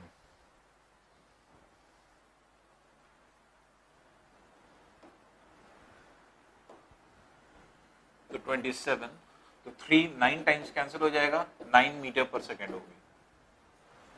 फिर इसी तरह से speed at the end of fourth second will be 64 metre in four seconds तो फोर सिक्सटीन टाइम्स कैंसिल हो जाएगा तो 16 मीटर पर सेकेंड इस तरह से आप निकाल सकते हैं। देयरफॉर अब हमें एनालिसिस करना इस तरह से निकालते जाएँगे तो सारे सेकंड का हो जाएगा। लेकिन हमें एक्सेलरेशन देखना है। तो acceleration at the in first second तो फ़र्स्ट सेकंड में कितना एक्सेलरेशन हुआ है? तो ये u हो गया, ये v हो गया और t कितना हुआ एक सेकेंड तो acceleration therefore acceleration that is v minus u upon t ये है at the end of first second तो ये क्या है? Four minus one upon one metre per second square जो कि कितना हो जाएगा? Three metre per second square फिर एक्सेलरेशन ए टू अगर आप निकालें तो फिर अब u ये हो जाएगा, v ये हो जाएगा। तो इसलिए हो जाएगा नाइन माइनस फोर अपॉन कितना टाइम है? सेकेंड सेकेंड से थर्ड सेकेंड हो गया, एक सेकेंड तो मीटर पर सेकेंड स्क्वायर तो ये हो गया five meter per second square ठीक है ना? इसी तरह से ए थ्री अगर हम निकालेंगे तो एक्सेलरेशन जो है अगले सेकंड कितना होगा? तो ये हो जाएगा sixteen minus nine upon one meter per second square क्योंकि ऊपर क्या है? मीटर पर सेकेंड है और नीचे सेकेंड है। तो मीटर पर सेकेंड अपॉन सेकेंड करेंगे तो सेकेंड स्क्वायर हो जाएगा। तो ये हो जाएगा कितना? 16 minus nine, that is seven meter per second square. अब देख लीजिए क्या एक्सेलरेशन एक्सेलरेशन पहले थ्री था, फिर फाइव हो गया, फिर सेवन हो गया। क्या ये कांस्टेंट है? कांस्टेंट होता तो एक, जितनी बार एक्सेलरेशन निकालते सेम फिगर आता। अगर थ्री यहाँ आया थ्री यहाँ आया थ्री आया अब क्योंकि वैल्यू बढ़ रही है, इसके मतलब एक्सेलरेशन क्या हो रहा है? इंक्रीज कर रहा है. Therefore acceleration is increasing therefore acceleration is acceleration is increasing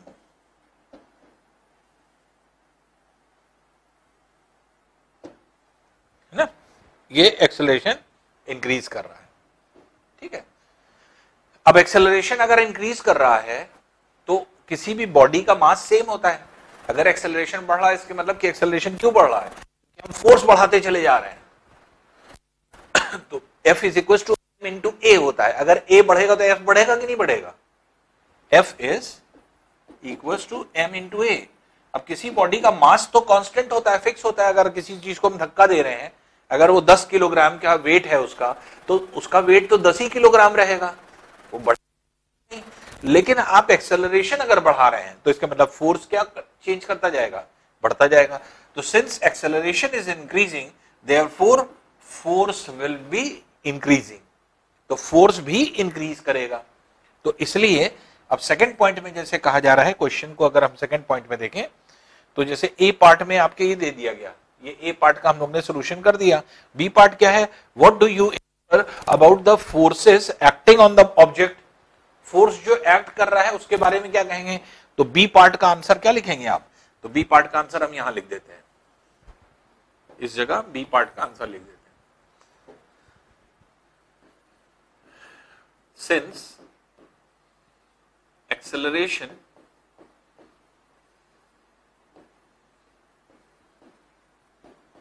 ration is increasing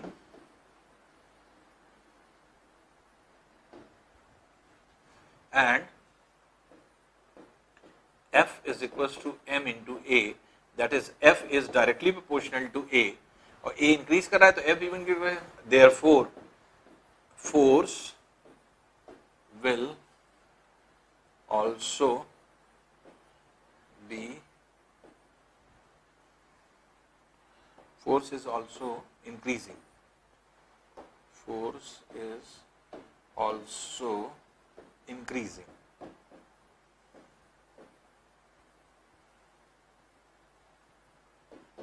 तो क्योंकि एक्सेलरेशन इंक्रीज कर रहा है तो इसका मतलब फोर्स भी क्या कर रहा है? इंक्रीज कर रहा है। देखिए नेक्स्ट क्वेश्चन है two person manage to push a motor car of mass 1200 kilogram at a uniform velocity along a level road the same motor car can be pushed by three persons to produce the acceleration of 0.2 meter per second square. Second square. With what force does each person push the motor car assume that all persons push the motor car with the same muscular effort इसके मतलब तीनों की effort same लग रहा है। तो एक car है मोटर कार जिसका वेट कितना है? 1200 किलोग्राम अब इसको फोर्स लगाया जा रहा है। अब ये फोर्स दो आदमी लगाए, चाहे तीन चाहे टू मैन हो, चाहे थ्री मैन हो। इससे हमें लेना देना नहीं, हम टोटल फोर्स निकाल लें। जो फोर्स निकलेगा, अगर दो आदमी लगा रहे होंगे तो उसको हाफ़ कर देंगे तो दोनों का निकल आएगा। और अगर फोर्स अगर हम निकाल लें तो तीन आदमी अगर फोर्स लगा रहे हैं तो उसको तो उसको वन थर्ड कर देंगे तो ईच पर्सन का फोर्स निकल आएगा। तो पहले हम फोर्स निकाल लें, कितना फोर्स लगाएँ कि इसके अंदर एक्सेलरेशन कितना आ जाए? 0.2 मीटर पर सेकेंड स्क्वायर का जो है आपके एक्सेलरेशन आ जाए। तो total force exerted by two men अब टू मैन हो, चाहे थ्री मैन हो, सबके जो है आपके लिए सेम फोर्स होगा। तो ये हो जाएगा F is equal to m into a m कितना है? One two zero zero kilogram into zero point two meter per second square तो ये कितना हो जाएगा? 240 kilogram meter per second square या इसी को one kilogram meter per second square को क्या कहते हैं? न्यूटन वन तो इसलिए फोर टू फोर्टी न्यूटन।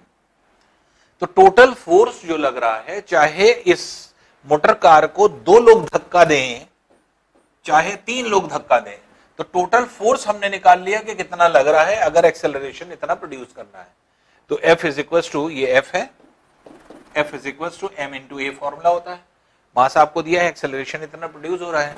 तो अब दो आदमी इसको लगाएँ, चाहे तीन आदमी लगाएँ एक्सेलरेशन तो इतना ही प्रोड्यूस हो रहा है। तो अगर दो आदमी लगा रहे हैं तो हाफ़ हाफ़ हो जाएगा। और अगर तीन आदमी लगा रहे हैं तो इसका वन थर्ड कर दीजिए तो अगर हम ये कह रहे हैं कि जो ईच पर्सन है, वो कितना मोटर कार को फोर्स लगा रहा है, ये निकालना है। अब थ्री परसेंट हो गए। तो थ्री परसेंट अगर हो गए तो अभी तक दो परसेंट इतना फोर्स लगा रहे थे। तीन को भी इतना ही लगाना पड़ेगा। तो तीन मिलके अगर टोटल इतना लगा रहे हैं तो हर आदमी कितना लगा रहा है, यही निकालना है। तो each person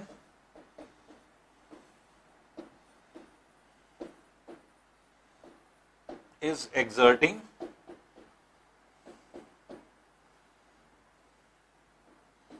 force, that is 240 upon 3 newton तो थ्री से इसको कैंसिल कर दिए तो 80 न्यूटन हो जाएगा। तो 80 newton each will be transferred by each person तो हर एक आदमी 80 80 न्यूटन का फोर्स लगाएगा। क्योंकि इस बॉडी को चलने के लिए, इतना एक्सेलरेशन प्रोड्यूस करने के लिए टोटल फोर्स कितना लग रहा है, ये हमने पहले निकाल लिया। तो पहले कह रहा था दो आदमी इस फोर्स को लगा रहे हैं तो दो आदमी लगा रहे हैं तो 240 का हाफ़ कर दिए इसके मतलब टोटल 240 अगर है और दो लोग लगा रहे हैं तो 120 120 लगाएँगे। दोनों मिल करके क्या हो जाएगा? 120 अब तीन लोग लगा रहे हैं तो कितना हो जाएगा? 80 80 80 80 80 80 तीनों मिलकर के कितना हो जाएगा? 240 तो इसलिए ईच पर्सन कितना लगा रहा है? वो आप निकाल लिए तो पहले हम टोटल फोर्स निकाल लेंगे। टोटल फोर्स जो निकला, अब उसको जो है हम थ्री परसेंट में बांट देंगे। तो ईच पर्सन कितना लगा रहा है? 80 न्यूटन का फोर्स लगा रहा है। नेक्स्ट क्वेश्चन देखिए। कह रहा है a hammer of mass 500 gram moving at 50 meter per second strikes a nail the nail stops the hammer in a very short time of 0.01 second what is the force of the nail on the hammer अब देखिए hammer है, हथौड़ा है। ठीक है ना? इससे किसी नेल पर मारा जा रहा है। और ये नेल जो है, वो अंदर जो है, आपके जाएगी। तो इसको जब मारा गया तो 50 मीटर पर सेकेंड स्पीड थी, जो कि u की वैल्यू हो जाएगी। जब आप हथौड़ा मारेंगे तो इनिशियल कुछ स्पीड होगी। लेकिन जब ये नेल से टकराएगा, तब स्पीड कितनी हो गई? ज़ीरो तो नेल पे आकर रुक गई हथौड़ा। तो वेट जो है आपके v का वैल्यू कितनी हो गई? ज़ीरो u की वैल्यू कितनी? है 50 मीटर पर सेकेंड जो हथौड़ा है, इसका मास कितना है? इसका मास कह रहा है 500 ग्राम है। और हम लोग किलोग्राम में इसको रखते हैं। तो किलोग्राम के मतलब क्या हुआ? ग्राम को किलोग्राम में कन्वर्ट करना है तो 1000 से जो है आपके डिवाइड कर दिए। तो ये कितना हो जाएगा? हाफ़ किलोग्राम ठीक है ना? हाफ़ किलोग्राम आ गया। तो इसके मतलब हैमर का वेट 500 ग्राम या हाफ़ किलोग्राम है। तो क्योंकि हम लोग वेट किलोग्राम में रखते हैं तो इसलिए हमें ये वैल्यू रखना पड़ेगा, इससे मतलब नहीं है। और कितने टाइम में ये रुक जाता है तो हैमर जब आता है तो क्या कितने टाइम में? टी की वैल्यू कितनी है? That is zero point zero one second तो जितना हैमर फोर्स लगाएगा, उतने ही नेल भी इसके ऊपर रिएक्शनरी फोर्स लगाएगा। तो पूछ रहा है यही कि नेल हैमर पर कितना फोर्स लगाएगा? तो चाहे हैमर का फोर्स निकाल लिए और चाहे नेल का फोर्स निकाल लीजिए तो force exerted by hammer on the nail.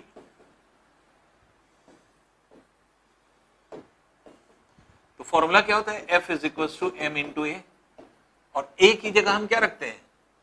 आपने पढ़ा है कि V minus u upon t होता है। होता है ना? अब V पता है, U पता है, T पता है। तो ये पूरा पोर्शन पता है एम भी पता है एफ़ निकल आएगा। तो एफ़ इज़ इक्वल टू ये फोर्स है that is m into v minus u by t तो ये कितना हो गया? ये हो गया आपका जो फोर्स एक्सर्ट हो रहा है हैमर ऑन द नेल और आप ये भी कह सकते हैं द फोर्स जो एक्सर्ट हो रहा है इस पर तो अब यहाँ पे अगर आप देखिए मास हाफ़ है into zero minus fifty upon time zero point zero one second तो ये किलोग्राम है, ये मीटर पर सेकेंड है तो kilogram meter per second upon second तो मीटर पर सेकेंड स्क्वायर हो जाएगा। Kilogram meter per second upon second तो मीटर पर सेकेंड स्क्वायर हो जाएगा। तो अब ये वैल्यू हो गई। इसको और सिंप्लीफाई करिए। One by two into minus fifty minus fifty मतलब डायरेक्शन बता रहा है ये। अपॉन वन इंटू पॉइंट हटाएँगे तो ऊपर हंड्रेड हो जाएगा। Kilogram meter per second square और kilogram meter per second square क्या होता है? न्यूटन होता है। टू फिफ्टी टाइम्स कैंसिल कर दीजिए। अब देखिए ये हंड्रेड कैसे आया? ये देख लीजिए। ज़ीरो पॉइंट ज़ीरो वन अगर है, पॉइंट हटाएँगे तो नीचे क्या आएगा? हंड्रेड आएगा। एक, दो दो पोजीशन हम जो है आपके इधर ले जा रहे हैं। तो इसलिए वही चीज़ है कि यहाँ पे पॉइंट था, इसको पॉइंट हटाएँगे तो ऊपर कितना आएगा? हंड्रेड आ गया। तो ये कितना हो जाएगा? ये हो जाएगा minus two five zero zero newton. तो ये आपके फोर्स है। तो ये फोर्स जो लग रहा है, ये क्या है? ये अभी force exerted by hammer on the nail लेकिन एक्चुअल में जब आपके हैमर पड़ेगा तो कौन फोर्स एक्सर्ट करेगा? नेल एक्सर्ट करेगी हैमर पर, जो रिएक्शनरी फोर्स होता है। इसलिए हैमर जब इतना फोर्स नेल पर एक्सर्ट कर रहा है तो इसका उल्टा, इसका मतलब ये पॉजिटिव हो जाएगा। तो force exerted by nail on the hammer will be 2500 newton, वो पॉजिटिव हो जाएगा। तो इसलिए अब इसको क्या लिखेंगे?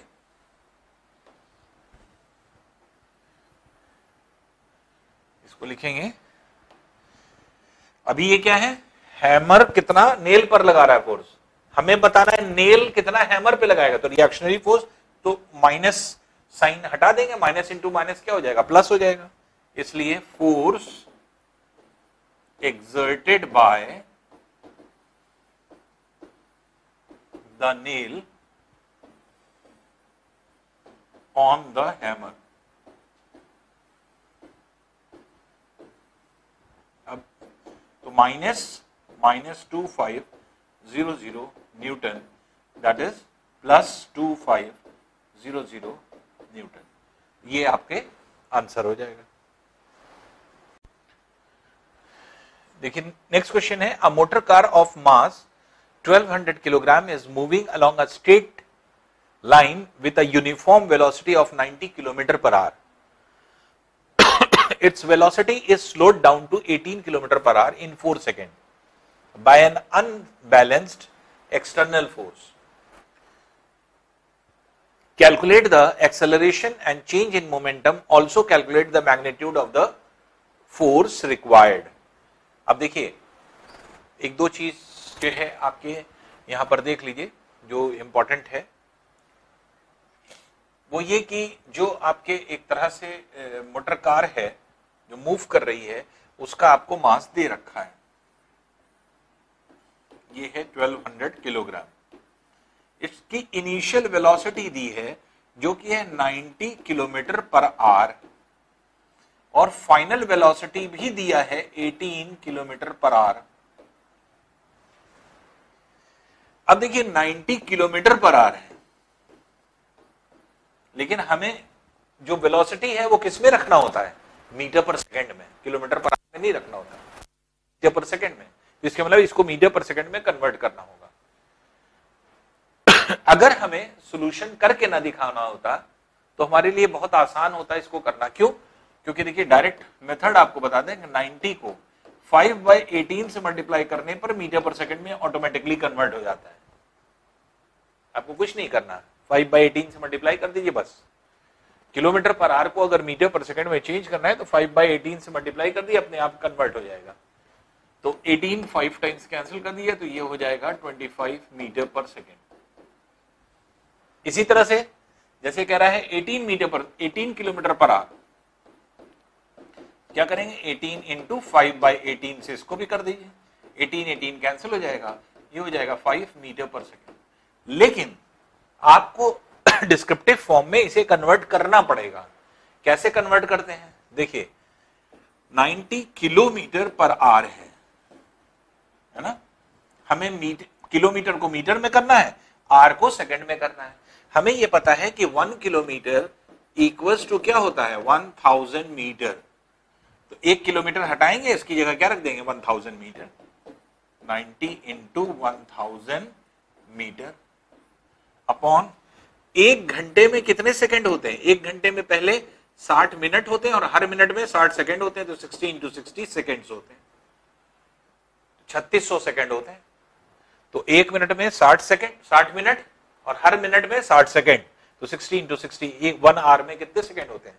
तो हमें आर की जगह क्या रखना है? सेकेंड तो 60 इंटू सिक्सटी सेकेंड्स रख देंगे। हमें ये करके दिखाना पड़ेगा। और 5 बाई एटीन कैसे आता है? इसको कैंसिल करिए तो 5 बाई एटीन ही आएगा। देखिए zero zero zero zero cancel कर दिए। Two five times two three times cancel कर दिए। अभी देखिए, ये हो गया 90 into five by three six eighteen देख रहे हैं? यही चीज़ हमने डायरेक्ट आपको बता दिया था। फाइव बाई एटीन से मल्टीप्लाई कर दिए, मीटर पर सेकंड में कन्वर्ट हो जाएगा। तो इसका मतलब किलोमीटर को मीटर में कन्वर्ट करते हैं आर को सेकंड में चेंज करते हैं तो फाइव बाई एटीन आ जाता है। अब एटीन को फाइव टाइम्स ये कैंसिल कर दिए five into five twenty five meter per second जो है आपके वैल्यू आ जाएगी।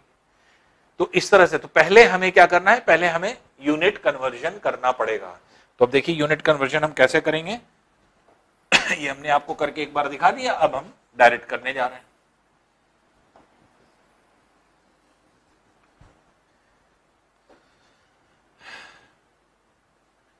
तो uniform velocity initial velocity u है।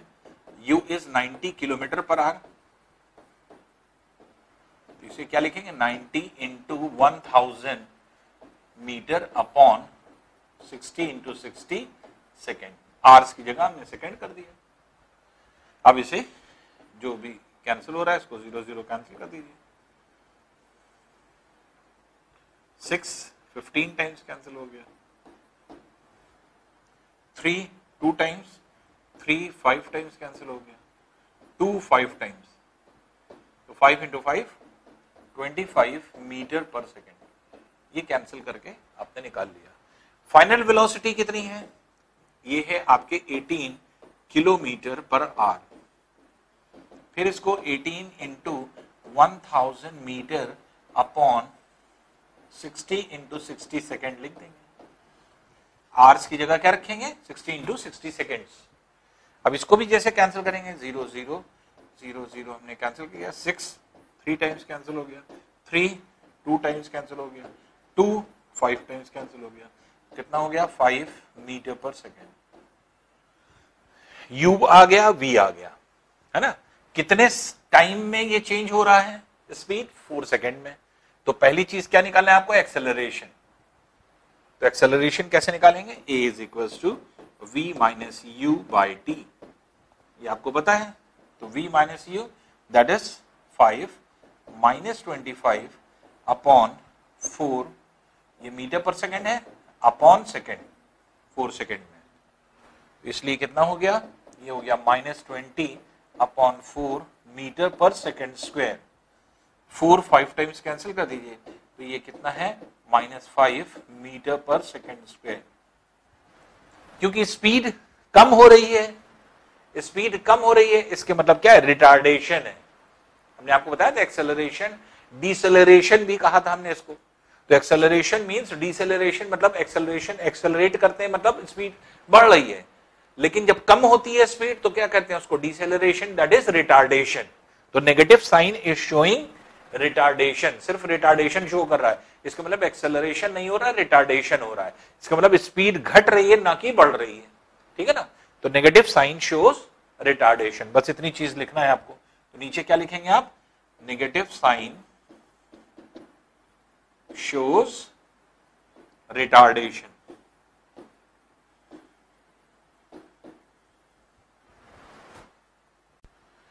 अब देखिए, अभी एक्सेलरेशन निकला। अब आइए चेंज इन मोमेंटम मोमेंटम क्या होता है? मास इंटू वेलोसिटी तो चेंज इन मोमेंटम क्या हुआ? तो जो चेंज इन मोमेंटम है final momentum minus initial momentum तो फाइनल मोमेंटम क्या है? M into final velocity initial momentum क्या है? M into u change in तो इसके मतलब दोनों में डिफरेंस कितना है तो माइनस कर देंगे. एम कॉमन हो जाता है तो फॉर्मूला क्या बनता है? बी माइनस यू ये आपका फॉर्मूला हो जाता है। ये क्या है? ये चेंज इन मोमेंटम का फॉर्मूला है। तो मोमेंटम जो बाद में है final momentum minus initial momentum is change in momentum तो चेंज इन मोमेंटम का फॉर्मूला लगा के हम सेकंड वाला पार्ट करने जा रहे हैं। अब देखिए सेकंड वाले पार्ट का आंसर क्या होगा?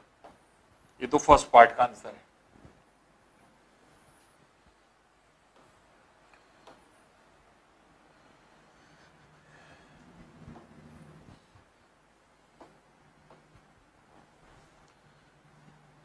हम आ रहे हैं second part that is change in momentum change in momentum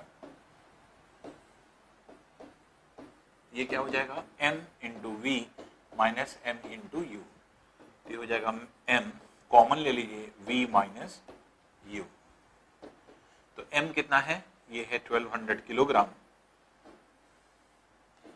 v कितना निकला था? ये निकला था 5 मीटर पर सेकेंड और ये निकला था 25 मीटर पर सेकेंड यू की वैल्यू तो अब ये कितना हो गया? One two zero zero kilogram ये हो गया minus twenty meter per second तो मोमेंटम जो चेंज आया, कितना आएगा? ये हो जाएगा minus two four zero zero zero kilogram meter per second तो किलोग्राम मीटर पर सेकेंड ये ट्वेंटी फोर थाउज़ेंड आंसर आ जाएगा। तो चेंज इन मोमेंटम के मतलब मोमेंटम कम हो रहा है, इसलिए नेगेटिव साइन तो नेगेटिव साइन शोज़ इसके नीचे आप लिखेंगे, इसके नीचे negative sign shows that momentum is momentum बढ़ नहीं रहा है बट भी घट रहा है, तभी तो नेगेटिव हो गया। तो फाइनल माइनस इनिशियल है। फाइनल ज़्यादा होता और इनिशियल कम होता तो इसके मतलब पॉजिटिव आंसर आता। नेगेटिव आंसर क्यों आ रहा है? क्योंकि फाइनल कम है इनिशियल ज़्यादा है, पहले वाला ज़्यादा है, तभी तो नेगेटिव आ रहा है। तो इसके मतलब क्या हुआ कि मोमेंटम क्या हो रहा है? डिक्रीज कर रहा है।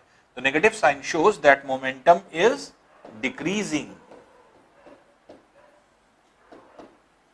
तो ये सेकंड वाला आंसर हो जाता है। तो जैसे एक्सेलरेशन हम लोग निकाल लिया, अब चेंज इन मोमेंटम निकाल लिया। तो ये आपका सेकेंड पार्ट हो गया। अब देखिए थर्ड पार्ट आएगा क्वेश्चन का। थर्ड पार्ट क्या कह रहा है? Also calculate the magnitude of the force required अब फोर्स भी निकालना है। तो फोर्स क्या होगा?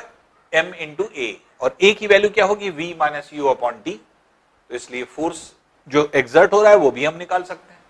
तो देखिए हम लोग फोर्स कैसे निकालेंगे? तो फोर्स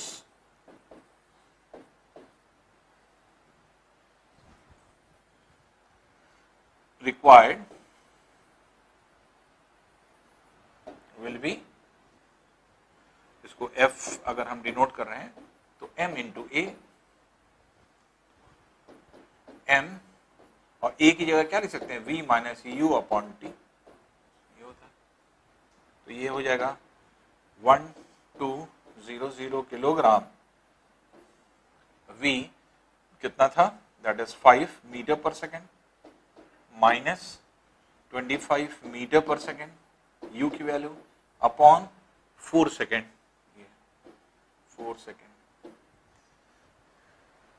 तो ये कितना आ रहा था? One two zero zero into minus twenty upon four kilogram metre per second upon second, metre per second square हो जाएगा। और kilogram metre per second square क्या होता है? न्यूटन होता है। इसको four three hundred times cancel कर दिए तो three hundred into minus twenty ये हो जाएगा कितना? इसको लिखें ऊपर, ये हो जाएगा माइनस सिक्स थाउज़ेंड न्यूटन। ठीक है ना? तो अब नेगेटिव साइन इसके बाद इसके बाद हमने यहाँ लिख दिया है। इसके बाद अब क्या लिखेंगे? Negative sign shows shows that force is decreasing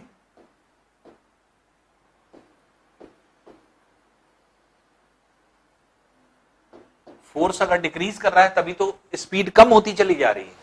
force अगर बढ़ता तो स्पीड बढ़ती।